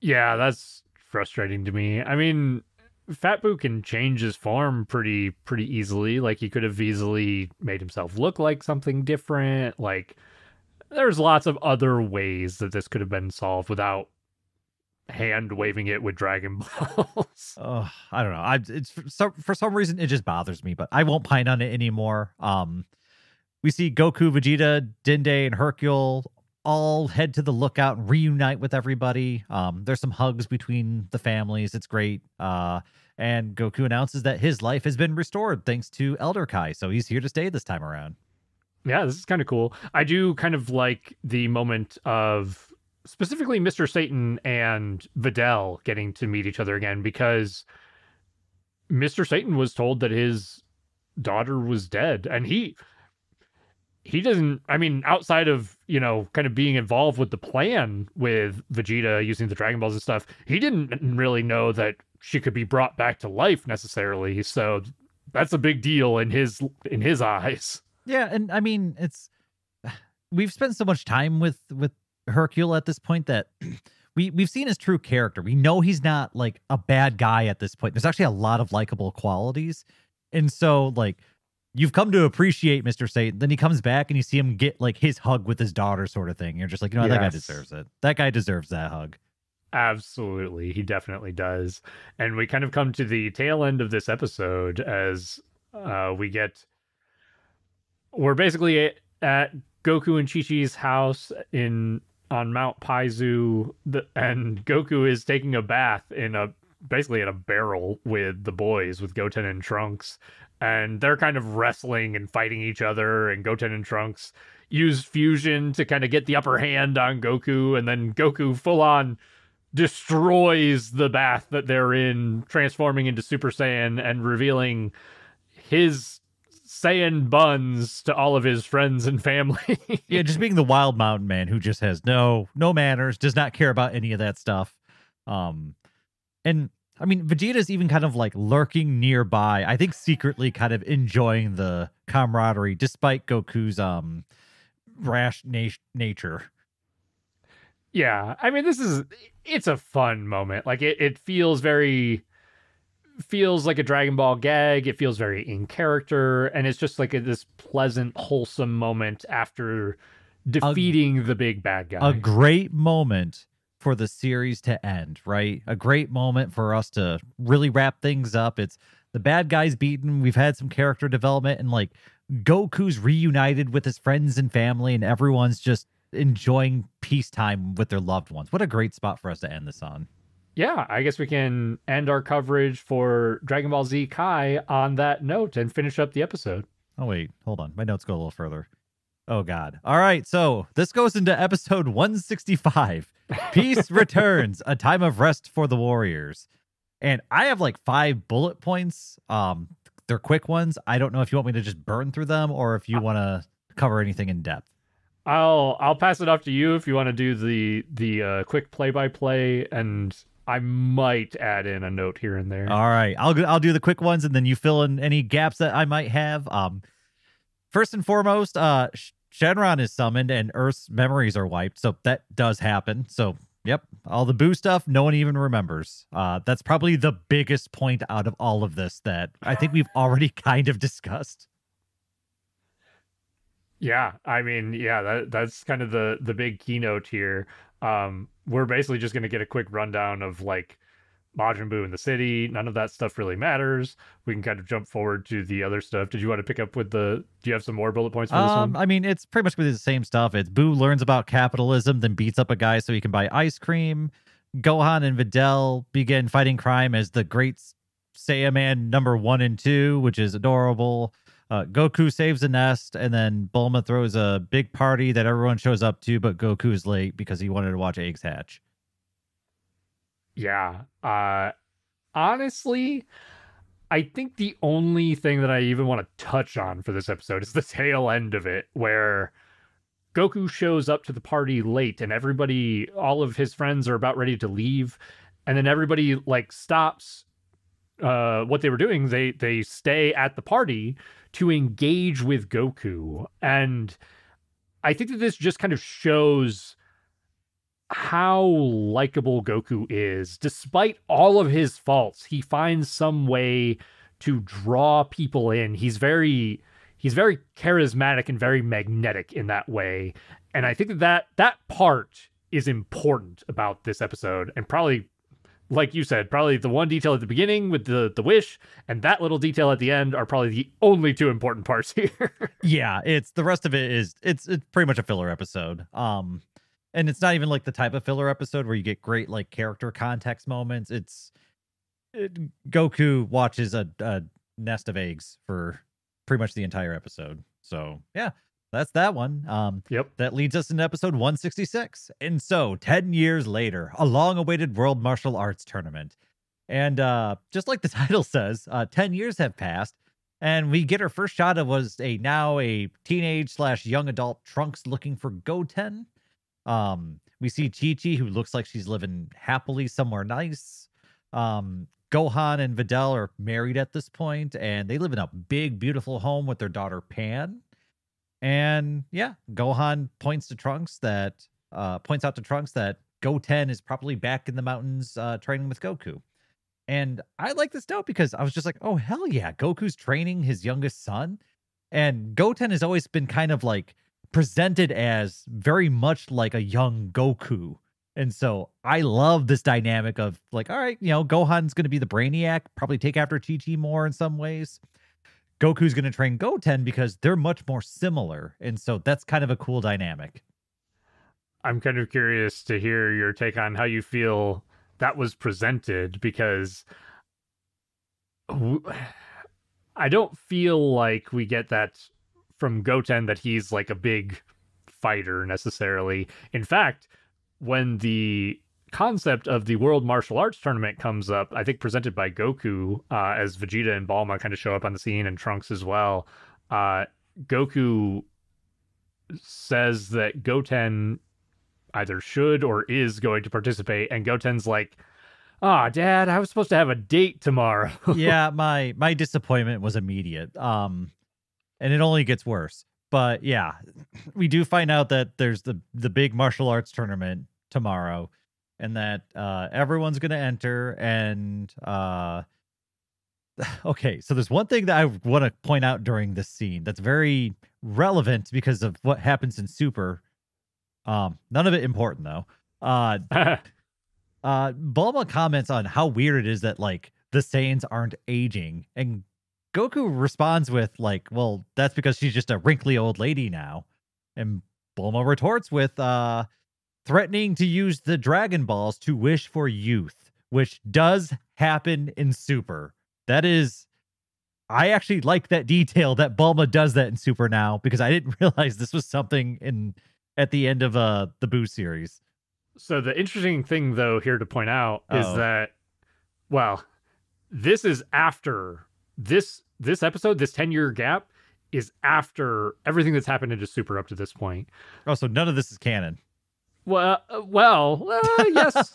um, Super has kind of been in this weird space where it's been confined with this this little arc, this like two episode arc, if you want to call it that, is what people call the end of Z arc. Uh, after the, like the ten year time gap, uh, Super has kind of had to confine itself to try to match up to the end of Z arc. I I think the way that she says that to me, the way I'm going to rationalize it in my head, because we know that prior to this, she would have had to have used the the Dragon Balls to wish herself to look younger. That she's not going to own up to and admit to using the Dragon Balls, and she's going to kind of like use it as a threat here, even though secretly she's been using the Dragon Balls for that exact wish. Okay, so remind Kai though was came out before Dragon Ball Super came out though, right? Yes. The the Buu arc might have come out kind of simultaneously with Super. Like the Buu arc came out in 2014, 2015 and Super started in 2015, which is why they share some music. So when Super did the wishes for youth, it was kind of to give context to this comet, maybe? Ooh, it could be. Could be. It, it I think that that would have that part of Super would have come out after the end of Z in Kai was written and dubbed and everything. Okay, so there's some sort of continuity happening between Super and this comment. I feel I just I'm not exactly sure how it all fits together, but there's something there. Yeah, definitely. I also want to point out because you're talking about the continuity with those the the detail that we mentioned with Goten about the dating thing is actually I'm almost certain this one is actually a direct tie-in to Goten in GT where he is like a ladies man and dating all oh, the women. I haven't seen GT, so I'm excited to see Goten uh to work his magic. oh yeah, for sure. oh my gosh, that's pretty funny. Man, there's a lot going on here. Um a lot of breadcrumbs that lead to well, somewhere. But yeah, uh, I mean, tr- Trunks arrive, even Little Pan arrives unseen, and she's entering the tournament. So everyone's entering the tournament. And so uh, we cut to the tournament where everyone has arrived. And we get a, a, a fun little scene where Pan runs in to get a hug from Grandpa Satan, who now has a much more receded hairline, which I love this little detail. And like, she kind of interrupts him and Buu discussing um their plans to kind of rig the tournament, which is also fun. And everyone moves out to take their seats, and they're leaning on Mr. Satan to kind of get them hooked up since all the seats are taken. And at first, they're kind of like set out on like the lawn right on the edge of the arena where everyone can look at them, which is kind of funny because I feel like Mr. Satan would love a spot like that where he can bask in the attention.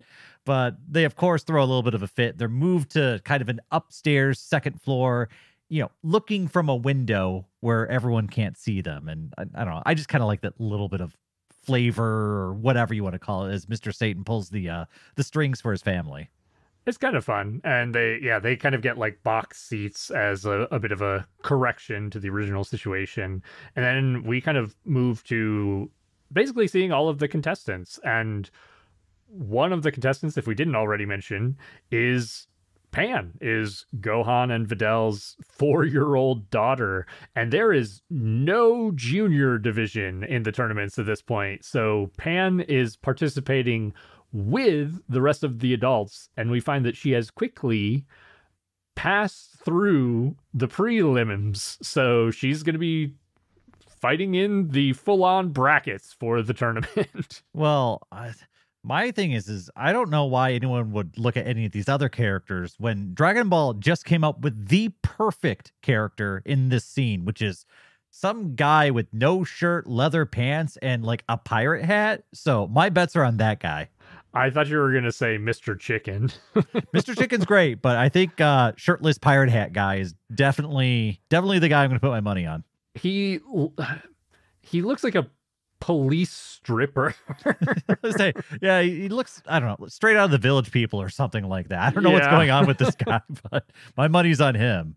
Um, and during these pairings, Goku leans over to Buu and kind of whispers over, like, "Hey, can you use some of that Buu magic to fix our matches like you do, Mister Satan's?" Which is hilarious, by the way.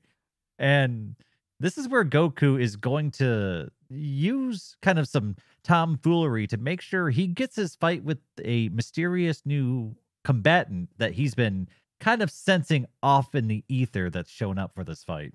This is kind of the whole impetus for Goku even participating in this tournament, right? Is that he he found out that this person would be participating, and so he has Buu rig the brackets such that he is Goku is now paired up with this young boy who appears to be no more than maybe 10 years old, which is going to be important.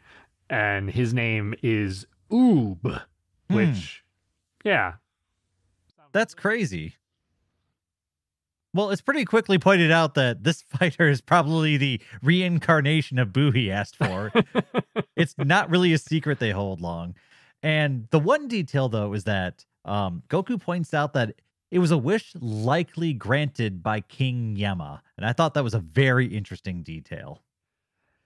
Yeah, I I mean, we've kind of been told through different pieces of lore in Dragon Ball that usually for the people who don't keep their bodies like Goku did in Otherworld, a soul is usually wiped or scrubbed clean and then is put into a new body is basically reincarnated. That's kind of what happens in the dragon ball universe is some form of reincarnation where the the the new soul or the new creature with that soul doesn't know or remember its past life or have any memories whatsoever that's kind of the scrubbing part so presumably that's kind of what king yemma did was took that soul of buu and then put it into a human boy Yeah, uh, it's I don't know, it's it's very interesting that King Yemma was just like, yeah, sure, you did you did great, Goku. Here's your reincarnated Buu that you asked for. it's such a interesting wish to grant, but I mean, we're gonna learn more about this as we go in episode 167. Even stronger, Goku's dream is never ending, which that, that is a really weird episode name. It's a little weird. It kind of alludes to what's going to happen, and at least it's not so much of a wild spoiler like every other title. But as the tournament begins with one of my favorite characters, Announcer Man, bringing us into the fights, we see that Pan is going to be fighting this. I think they say he's like seven foot six and is just like this hulking slab of muscle. And he's full on just like why do I have to fight this kid? This is bullshit, blah, blah, blah, blah, blah. And as soon as the fight starts between the two of them, Pan slaps his shit and kicks him out of the ring. it's a quick match. Watching this little four year old just smack this giant Goliath around. I mean, it's hilarious. And of course, everyone's stunned. No one expects this outcome except for the people who know who Pan is. And I mean, it's fun. It's Dragon Ball. It's watching a baby just smack around a, a grown ass man. It's it's fun. And I don't know. I like it. I actually like this kind of side of Dragon Ball where it's comedy, but it's inline comedy. Yeah, it's inline comedy. It I mean it feels honestly not too much unlike uh like Goku and Krillin joining the tournaments and just like stomping people. They were they were young. They were probably 12 years old, something like that. Um but they weren't 4 years old like Pan here, which is, you know, even just kind of ex- expanding on that level of comedy, but it's quickly going to take us into the next fight, which is Goku versus Oob. Yeah, and as these two enter the the ring, um, and they kind of comment on what Oob looks like. He's this really gangly, skinny kid with like a mohawk, and he's wearing basically um, what do you call it? Like a toga? I don't know what you call it, but he's just got like a strip of cloth over him. And when he enters the ring, he's like nervous. His hands are shaking, and this is this is somebody who looks like they've never been in a real fight before as he enters the arena. But I mean, he's made it past the preliminaries, so I, Goku better be right about this guy because all he's thinking about is like winning the match and for his people back home. That's that's all we really know about this Oob fella.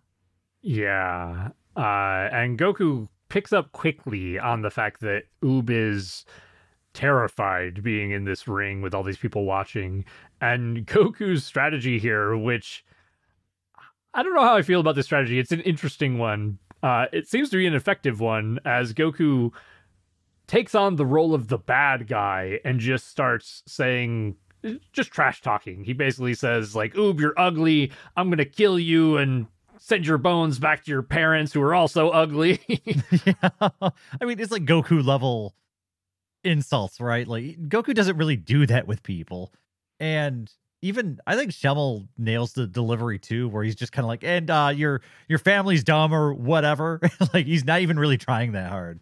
Yeah, it it sounds like like something a a school grade kid would say. Like it it it, it makes sense.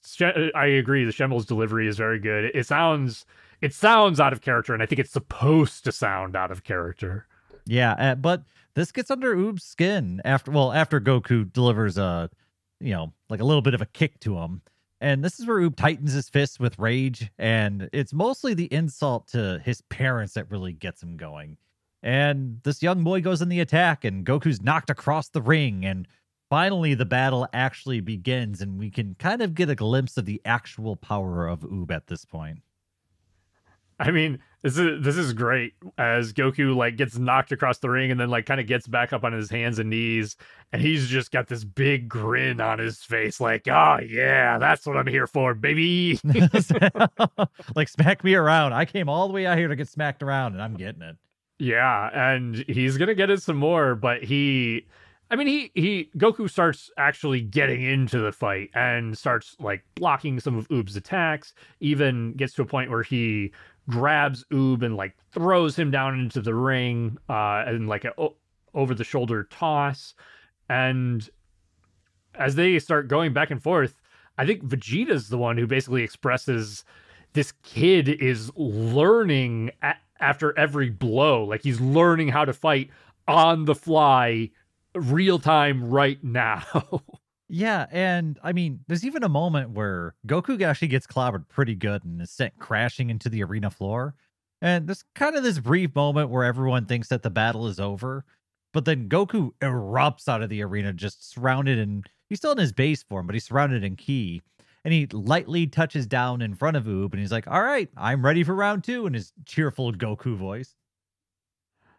Yeah. And I mean, this is this is just kind of funny as Goku's basically like like you said, he's in his base form, so he's he's not taking it too serious. Um, but he he at this point knocks Oob around quite a bit, and eventually he gets Oob to really like power up. You can see his aura like showing around him, and he goes on the offensive trying to attack Goku, but overshoots it, not really realizing his own power as Goku kind of dodges in the air um, with Oob now like hanging off the edge of the arena, and Goku's about ready to blast him with a Kamehameha and stops when he sees that Oob's about ready to fall off.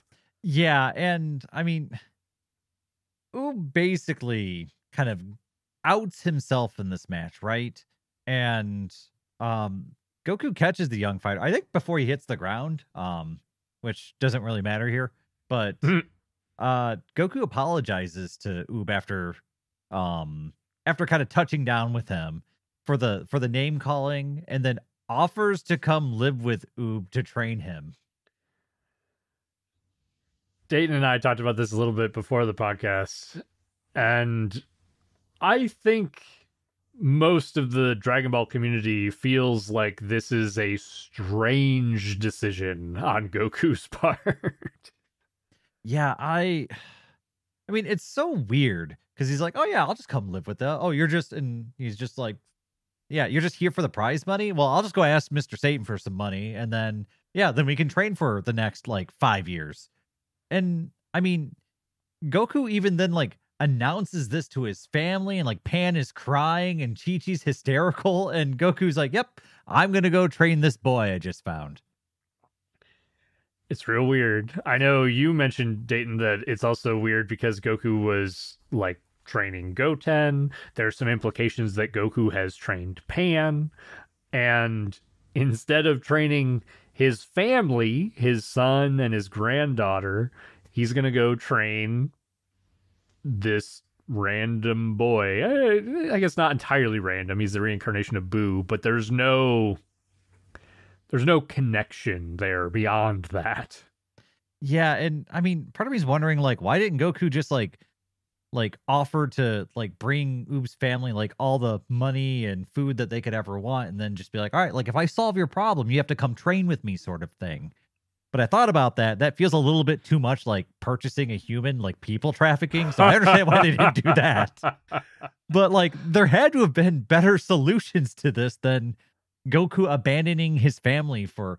And my thing is, is like we just went through this thing with Goku where he was gone and like his family missed him like crazy. And then by the end of all this buu shenanigans, it's like, all right, guys, like the elder Kai gave his life for me, and that allowed me to to come back to the you know living world. Now I can stay with you guys. And now he's just gonna like leave him for like five or ten years or something. Like I don't know. I like I feel like I'm being jerked all over the place with like, what is going on with Goku? It's a little weird. And I mean, admittedly, it's been 10 years since the Buu stuff. So he's bored. presumably what? Bored. He doesn't want to be a dad. Bored. Being dad's boring. I want to go do something. Be someone else's dad. That's right. Uh yeah, but in addition to that, presumably has spent those 10 years with his family, right? It doesn't for the audience, it doesn't feel that way to us because it's jumping from Buu getting killed to 10 years in the future. Uh, so we don't really get that sense of time and that sense of. yeah, know, it probably felt like an eternity for Goku. Oh, Jesus. Definitely. but this guy can teleport wherever the hell he wants as long as he can send somebody there. Why doesn't he just go to the village, fight with Oob, teleport home for dinner, and to sleep in a bed with his wife? What? Yeah, it's. I mean, the thing is, yeah, there's no like transportation costs or anything. It's also that like Goku really works a job. He can go train the entire day. He just has to come home at night. Like, what is going on? It's so weird. I mean, the only thing that I could even remotely justify this in my head with is honestly not even in universe stuff. It would be just the fact that we as the audience are kind of getting to experience and feel this element of Goku leaving, Goku departing, because this is the end of Dragon Ball Z. And so it's it's almost kind of like forcing that feeling of like Goku leaving and we're kind of leaving the story with Goku. Man, my my thing though I and I I like your explanation, right? It at least gives me something to to reason with it. Like I, I at least have some base level understanding of what they might have been thinking when they wrote it. But for me, like I look at the end of the Cell Saga, and I thought that was a, a beautiful farewell for Goku, right? Like we already had a great like, all right, he's gone. Like or even the end of the Frieza saga. That's a beautiful farewell to Goku. Like he sacrificed his life to save a galactic threat, right? And he's gone. But you know, okay, got it. This is like the worst possible option out of all the things I've seen, especially since I think if they would have ended the Buu series just a couple episodes earlier with him with his family and everyone's having fun and we're living in peacetime and I mean that's a really wholesome great spot to end the story on, right?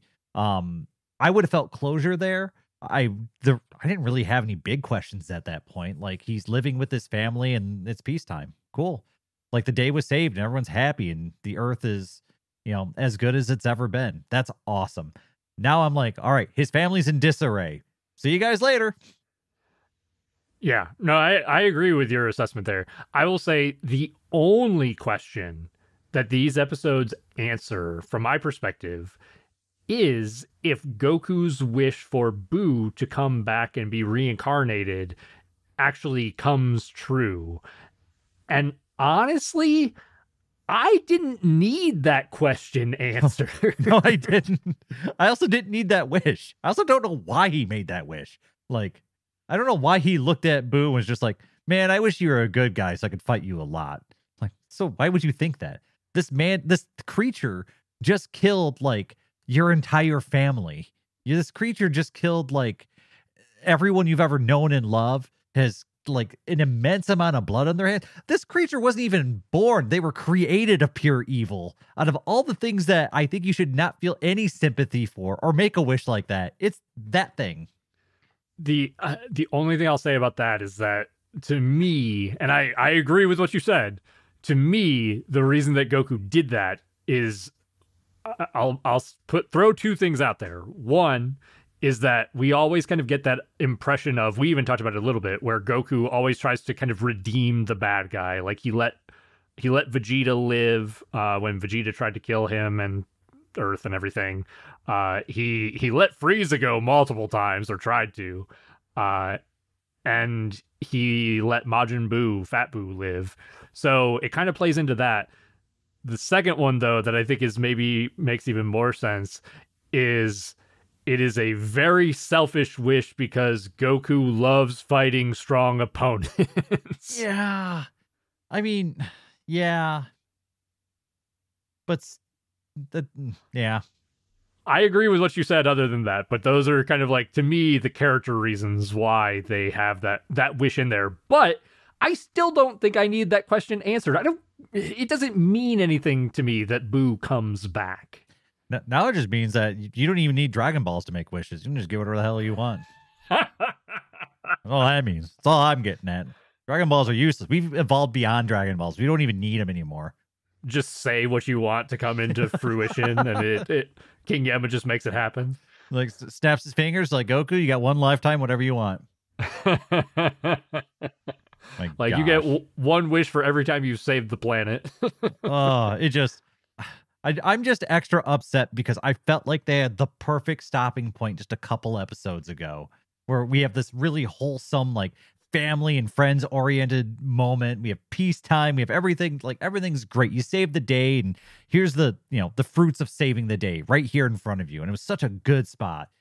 And then now, not only do you introduce this question, but now like Goten seems kind of like pathetic um, Gohan, of course, is not training still. Uh, there might be a future with Pan, but at this point, I don't think there is because it's Dragon Ball and we don't do anything with uh, other characters. I don't know.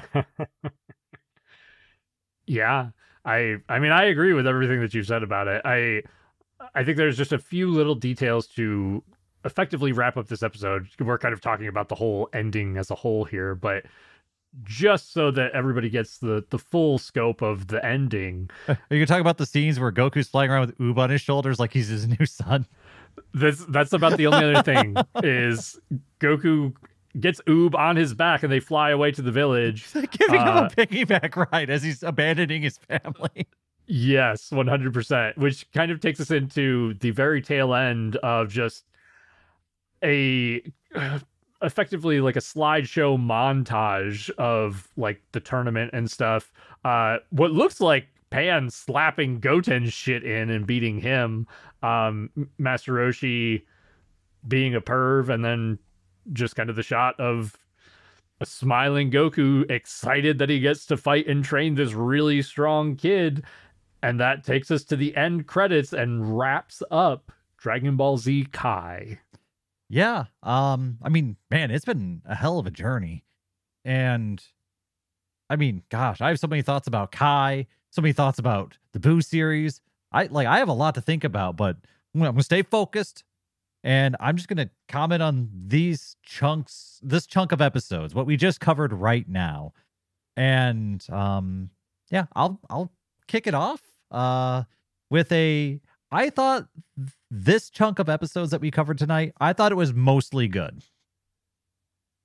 And I say that because I think there was some excellent fight animation and watching Kid Buu fight is just a joy. Like it's it's probably one of the best parts about the Buu series is just watching how creative they are with Buu, how creatively he fights and how fun those battles are. There's some great animation in here as well.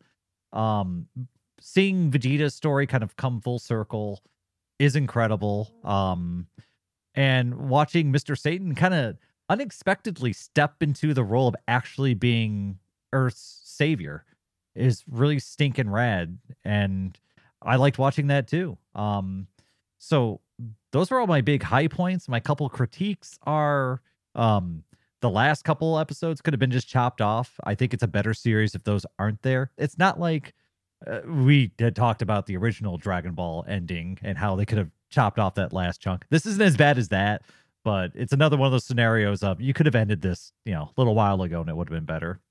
Um, I mean, and I think I've mentioned this before. I when Kid Buu was defeated, when he died, I didn't have like that like exhale moment that I've had with so many other boss fights where I'm like holding my breath and I'm tensed out and I'm just like, oh my gosh.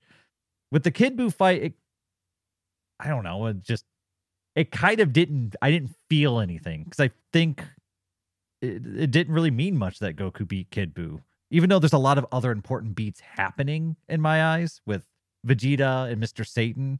Um, I mean, the way we beat Kid Buu is we resurrected everyone back so that way Goku could have their energy. And then when Goku couldn't beat him with that energy, we just wished for him to have more energy. And that's not the most compelling kind of fight to me. Um, outside of that, mostly good notes. I want to emphasize in the good ones. I have my critiques, but as far as the ending of the Buu series, these nine episodes, overall, pretty good. I think I pretty much all of what you said I agree with. I, I'll add a little, a few more details for my own perspective on it. But yeah, Kid Buu versus Goku, incredible fight, incredible animation, incredible choreography, super fun to see the the those two characterized and embodied in in a fight and i i'm a vegeta fanboy seeing his this to me is like vegeta's story arc from the start of dragon ball z to the end of dragon ball z is wildly satisfying for vegeta's arc and seeing him go from the villain who doesn't care about anybody else to the hero. I mean, he he's not the hero. That that title goes to Mr. Satan. But uh he he comes up with the plan. He he gives up a lot of his ego and I would argue even a bit of his pride to say that Goku or Kakarot is the best and he's the only one who can do this in defeating Buu. And man, I love Mr. Satan's story through this. Like, I, I gushed about it enough. I won't dwell on it too much, but getting to be the the guy who took all of these accolades and did not deserve them to using those accolades to become the true hero. And uh, man it's it's such a good story. Um and like you said Dayton it also makes him much more likable as we see these heroic traits. And those are my probably my biggest high points. Um, I kind of like uh, this is a little bit of a my take on what you said, Dayton, about you don't really care about Goku beating Buu. One of the things that I do like about it is Vegeta's concept of we or people uh, like the Z fighters keep saving the Earth. It's time for the Earthlings to save themselves, and I kind of like like the idea, especially the idea of getting to see like Eighter and Suno and all these people that Goku has positively impacted their lives really come back into the fold. And because of Goku's previous actions, they have a big positive impact on him defeating Buu in this moment. Those are really good tie ins, really good storytelling. I do agree with what you said, Dayton, in that I think as I kind of move maybe more into my critiques of the Buu arc, or at least this chunk of it, we've kind of expressed a lot throughout the Buu arc that we were disappointed that Gohan and Goten, like the new generation, did not. The torch was not passed on to them. It, it kind of got like put into their hands and then immediately ripped away. yeah, and, yeah, they weren't really given their moment. No, not at all. And that's that is a bummer. Uh I wish that Gohan had been the one to actually defeat Buu. I think that even even though Buu is not a great villain, I think that would have been far more meaningful for Gohan to kind of take on that mantle of the hero, the savior of the earth. I mean, he kind of did with Cell, uh, but to see it cemented in him becoming an adult and realizing what it means to defend the earth is way more meaningful than Goku coming back to life and being like, "Well, got to beat this guy. My kids couldn't do it." Actually, it wasn't even that hard to bring him back. Hardly an inconvenience. yeah, really. um, the only downside to that is that it. The only downside to Gohan taking on the mantle and actually going that route would have been we potentially miss out on Vegeta's characterization. I think that there's maybe ways they could have done it if you kind of keep Goku dead instead. Uh, I mean, can you imagine the um the emotion that Vegeta would have if not only he was suppressed by by Kakarot, but he watched his son, you know, once again kind of exceed his his capability. Like I still think Vegeta there's a lot of good ways to write Vegeta around that. That's a really good point. Honestly, it would show even more growth if Vegeta was like, well, Gohan, the son of Kakarot, treats fighting and treats growth the same as his father does, and I can see now how that is valuable. Uh, so yeah, I, I think that, that still could have gone in there. I think that Mr. Satan still could have had his moment to shine. Um, honestly, one thing, one thought I had earlier today when I was watching this, I kind of like the idea if you just pull Goku out of the equation and put Gohan in there, if you have Gohan be the one who uses the spirit bomb against Buu, I've kind of mentioned before that I really like the parallels of like Gohan wearing Goku's outfit, Gohan taking on the mantle that Goku had as the hero of of Earth, the savior of Earth and going even one step further to say that Gohan learned the spirit bomb, whether it be by himself, uh, whether it be he, you know, trained with King Kai, whatever, uh, or if Goku even taught it to him. I really kind of like that cementing Gohan in in that role and that like all those tiebacks and throwbacks to Goku. Yeah, actually, I like that a lot more. And it also makes that kind of that symbology of Gohan asking to wear the same outfit of his father earlier on. It makes that feel like it makes a lot more sense. Um, because like I said, when I saw it happen, and I remember mostly what happened in the Buu arc when we saw that, I was just like, eh, doesn't really do it for me. I feel like he's had trainers that he's learned more from and was closer to, but um if he if he steps into that role and actually becomes Earth's protector like his father is or was, then I like it more, I think. Then I'm a little bit different. I feel a little bit more differently about that because now we're seeing kind of that change in character from Gohan. We're seeing him really accept that role. It's not just stepping into your father's shoes, it's literally putting them on at that point. Yeah. Yeah, absolutely. Uh, I think that could be way more interesting. Obviously, there would have to be tweaks with like Ooh, Goku coming back and the Vegito dynamic and- of like like you know that you know gohan is probably like going to be your your son-in-law or whatever here soon. And like the, you get that weird dynamic as you know you're trying to save the earth and now hercule has to like form that kind of relationship with you. Or there's a lot of stuff you could play off of there if that's happening.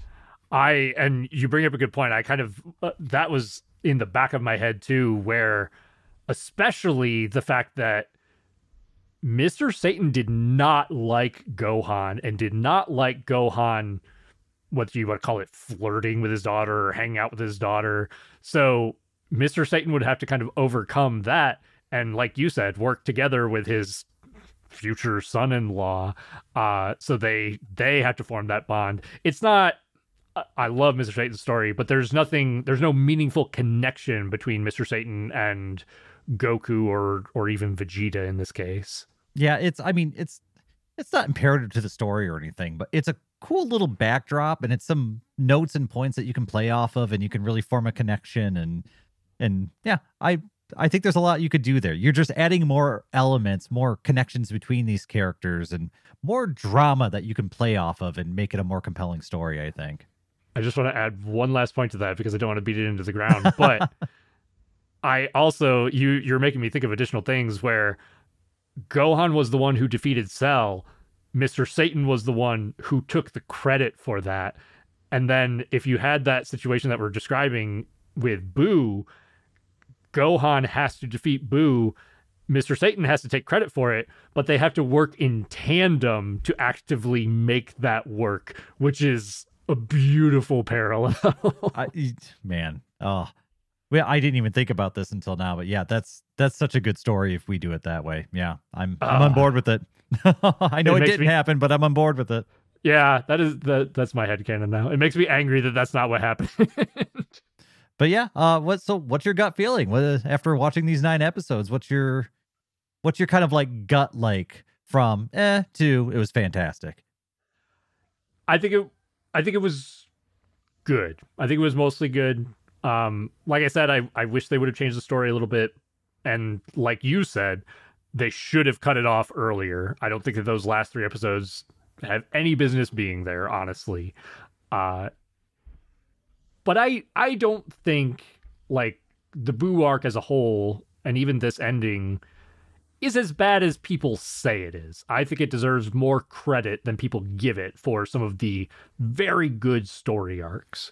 Um, what about you, Dayton? Did you have any other thoughts on it? Uh, I mean, it's just you know, uh, I think I've said this a few nights where there are I for some reason I have worse memories of the Buu series than I think it actually was. Um, I don't think it's like blown my expectations out of the water. Like I haven't it hasn't super exceeded them. But there's been a lot of notes and maybe a lot of subtleties that I didn't pick up on when I was younger that I'm noticing now. And there's actually a lot of clever writing kind of hidden in here and story arcs that take place over the course of dozens of episodes that aren't the main story that are really easy to kind of miss the nuance of if you're not paying attention to them or know to pay attention to them. Like I'm pretty sure the first time I watched the Buu stuff, I had no idea that Mr. Satan was going to be part of a storyline. I didn't really pay attention to him. yeah, I think he kind of gets written off a lot, and and yeah, that that's I think that's the thing for me for Buu is that I don't really care that much about Buu and Buu's story, but there's really good character writing. Like there's at least the initial good writing or idea for passing the torch to Gohan and Goten and Trunks that doesn't happen, but there's great character arc for Vegeta and great character arc for Mr. Satan. Uh, and then some little sprinklings at the end of like the Earth having to fend for themselves and all that, or Earthlings. So I like a lot of the pieces. It just missed the mark on a cohesive story, I guess, which is probably why people don't and like At it. At the end of the day, it's still Dragon Ball content. It's obviously Dragon Ball Z. You're not mistaking it for anything else. And I mean, I'm enjoying the content. It's just, you know, is this one going to rank high up on on my list of series? Probably not.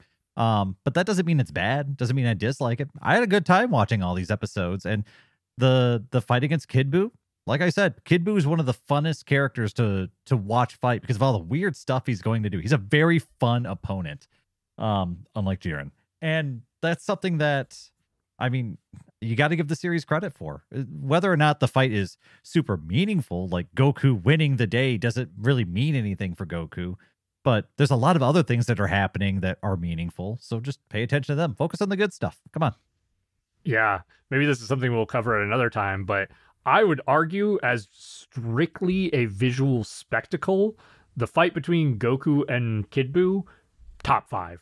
Like it's Ooh. it's probably up there for me, man. It's it's real good. It doesn't have the meaning that like Cell versus Gohan has or Goku versus Frieza has as far as like Are you counting the movies as well? probably. Wow, that's that's incredible. Yeah, I mean, I'd have to go think about all the different fights, but it it's up there for me, man. The it's it's really well animated. It's really cool to watch Buu and Goku. Uh, No, I just I just think of the moments where they're like gorilla hopping over the over the ki blast and like spinning through the air and firing stuff. I I mean, there's a lot of effort that's put into this fight. You're I I'm not arguing with you. It's just like I know it's good, but now I need to start thinking about like how good is it because I really have not put that much thought into it. that's almost certainly going to be a, a future podcast episode. Is top wow, fights. Come on, but- don't start tipping our hand that early. but uh, at this point, I think we've covered most of everything for these episodes and the tail end of Dragon Ball Z Kai. Did you have anything else you wanted to discuss, Dayton? Uh, no. I mean, it just it honestly feels freaking crazy being like through this much Dragon Ball at this point. That's the thing I'm like struggling to wrap my head around. I mean, we've we've covered hundreds of episodes of Dragon Ball. Um, most of the mainline content. Um, we're talking about ways of of possibly doing GT here in the near future. So I'm not I'm not sure what the game plan is on that yet, but I mean, yeah, we're getting to the point where we've almost covered the entirety of Dragon Ball, and that's that's mind blowing. I can't believe. Wow. Well, anyone who's been along for this journey, thank you so much. Like we really appreciate your your our, your viewership. You can't view us. Um, your listenership. and we Hearing appreciate us talk. Yeah, we appreciate your support and just kind of listening in and hang out with us. Yeah, no, I, I totally agree. Yeah, we've covered we've covered the original Dragon Ball, Dragon Ball Super, and Dragon Ball Z or Z Kai technically at this point. Uh God, the only thing that's left out there is GT and then potentially movie content. But we're definitely going to keep making content moving into the future. So uh, we do have one more episode that we'll talk about here coming up. Uh, but for tonight, that's going to be it for this episode of Instant Transmission, where we discuss everything Dragon Ball. This has been your host, Todd. And Dayton, Don't forget, we are on Patreon and Twitter. If you want to help the podcast grow like Krillin's hair, you can find us at patreon.com slash ITDB podcast and over on Twitter at x.com slash ITDB podcast. That stands for Instant Transmission Dragon Ball Podcast, ITDB podcast. And please like, review, and subscribe on whatever podcasting platform you're listening to us on. Thank you all so much for your support. Be sure to join us next time as we rate and review the entirety of Dragon Ball Z Kai. that's going to be an episode. Like with our previous series reviews, we'll be breaking the series into arcs and rating them from 1 to 10, and finally giving Dragon Ball Z Kai as a whole a rating of its own. Will the Saiyan arc reign supreme? Or will Cell and Frieza have a thing to say about that? Or is the Garlic Jr. saga going to make a surprise appearance and clean house? Find out a next time. And to all our fellow Dragon Ball fans, stay safe out there and remember to keep rocking the dragon.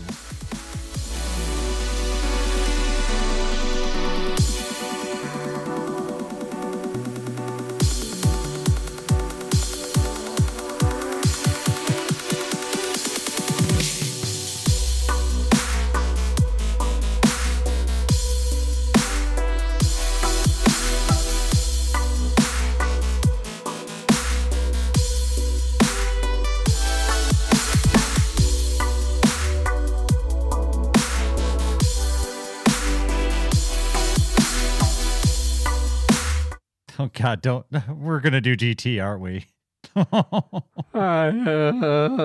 God, God save, God save us! Help!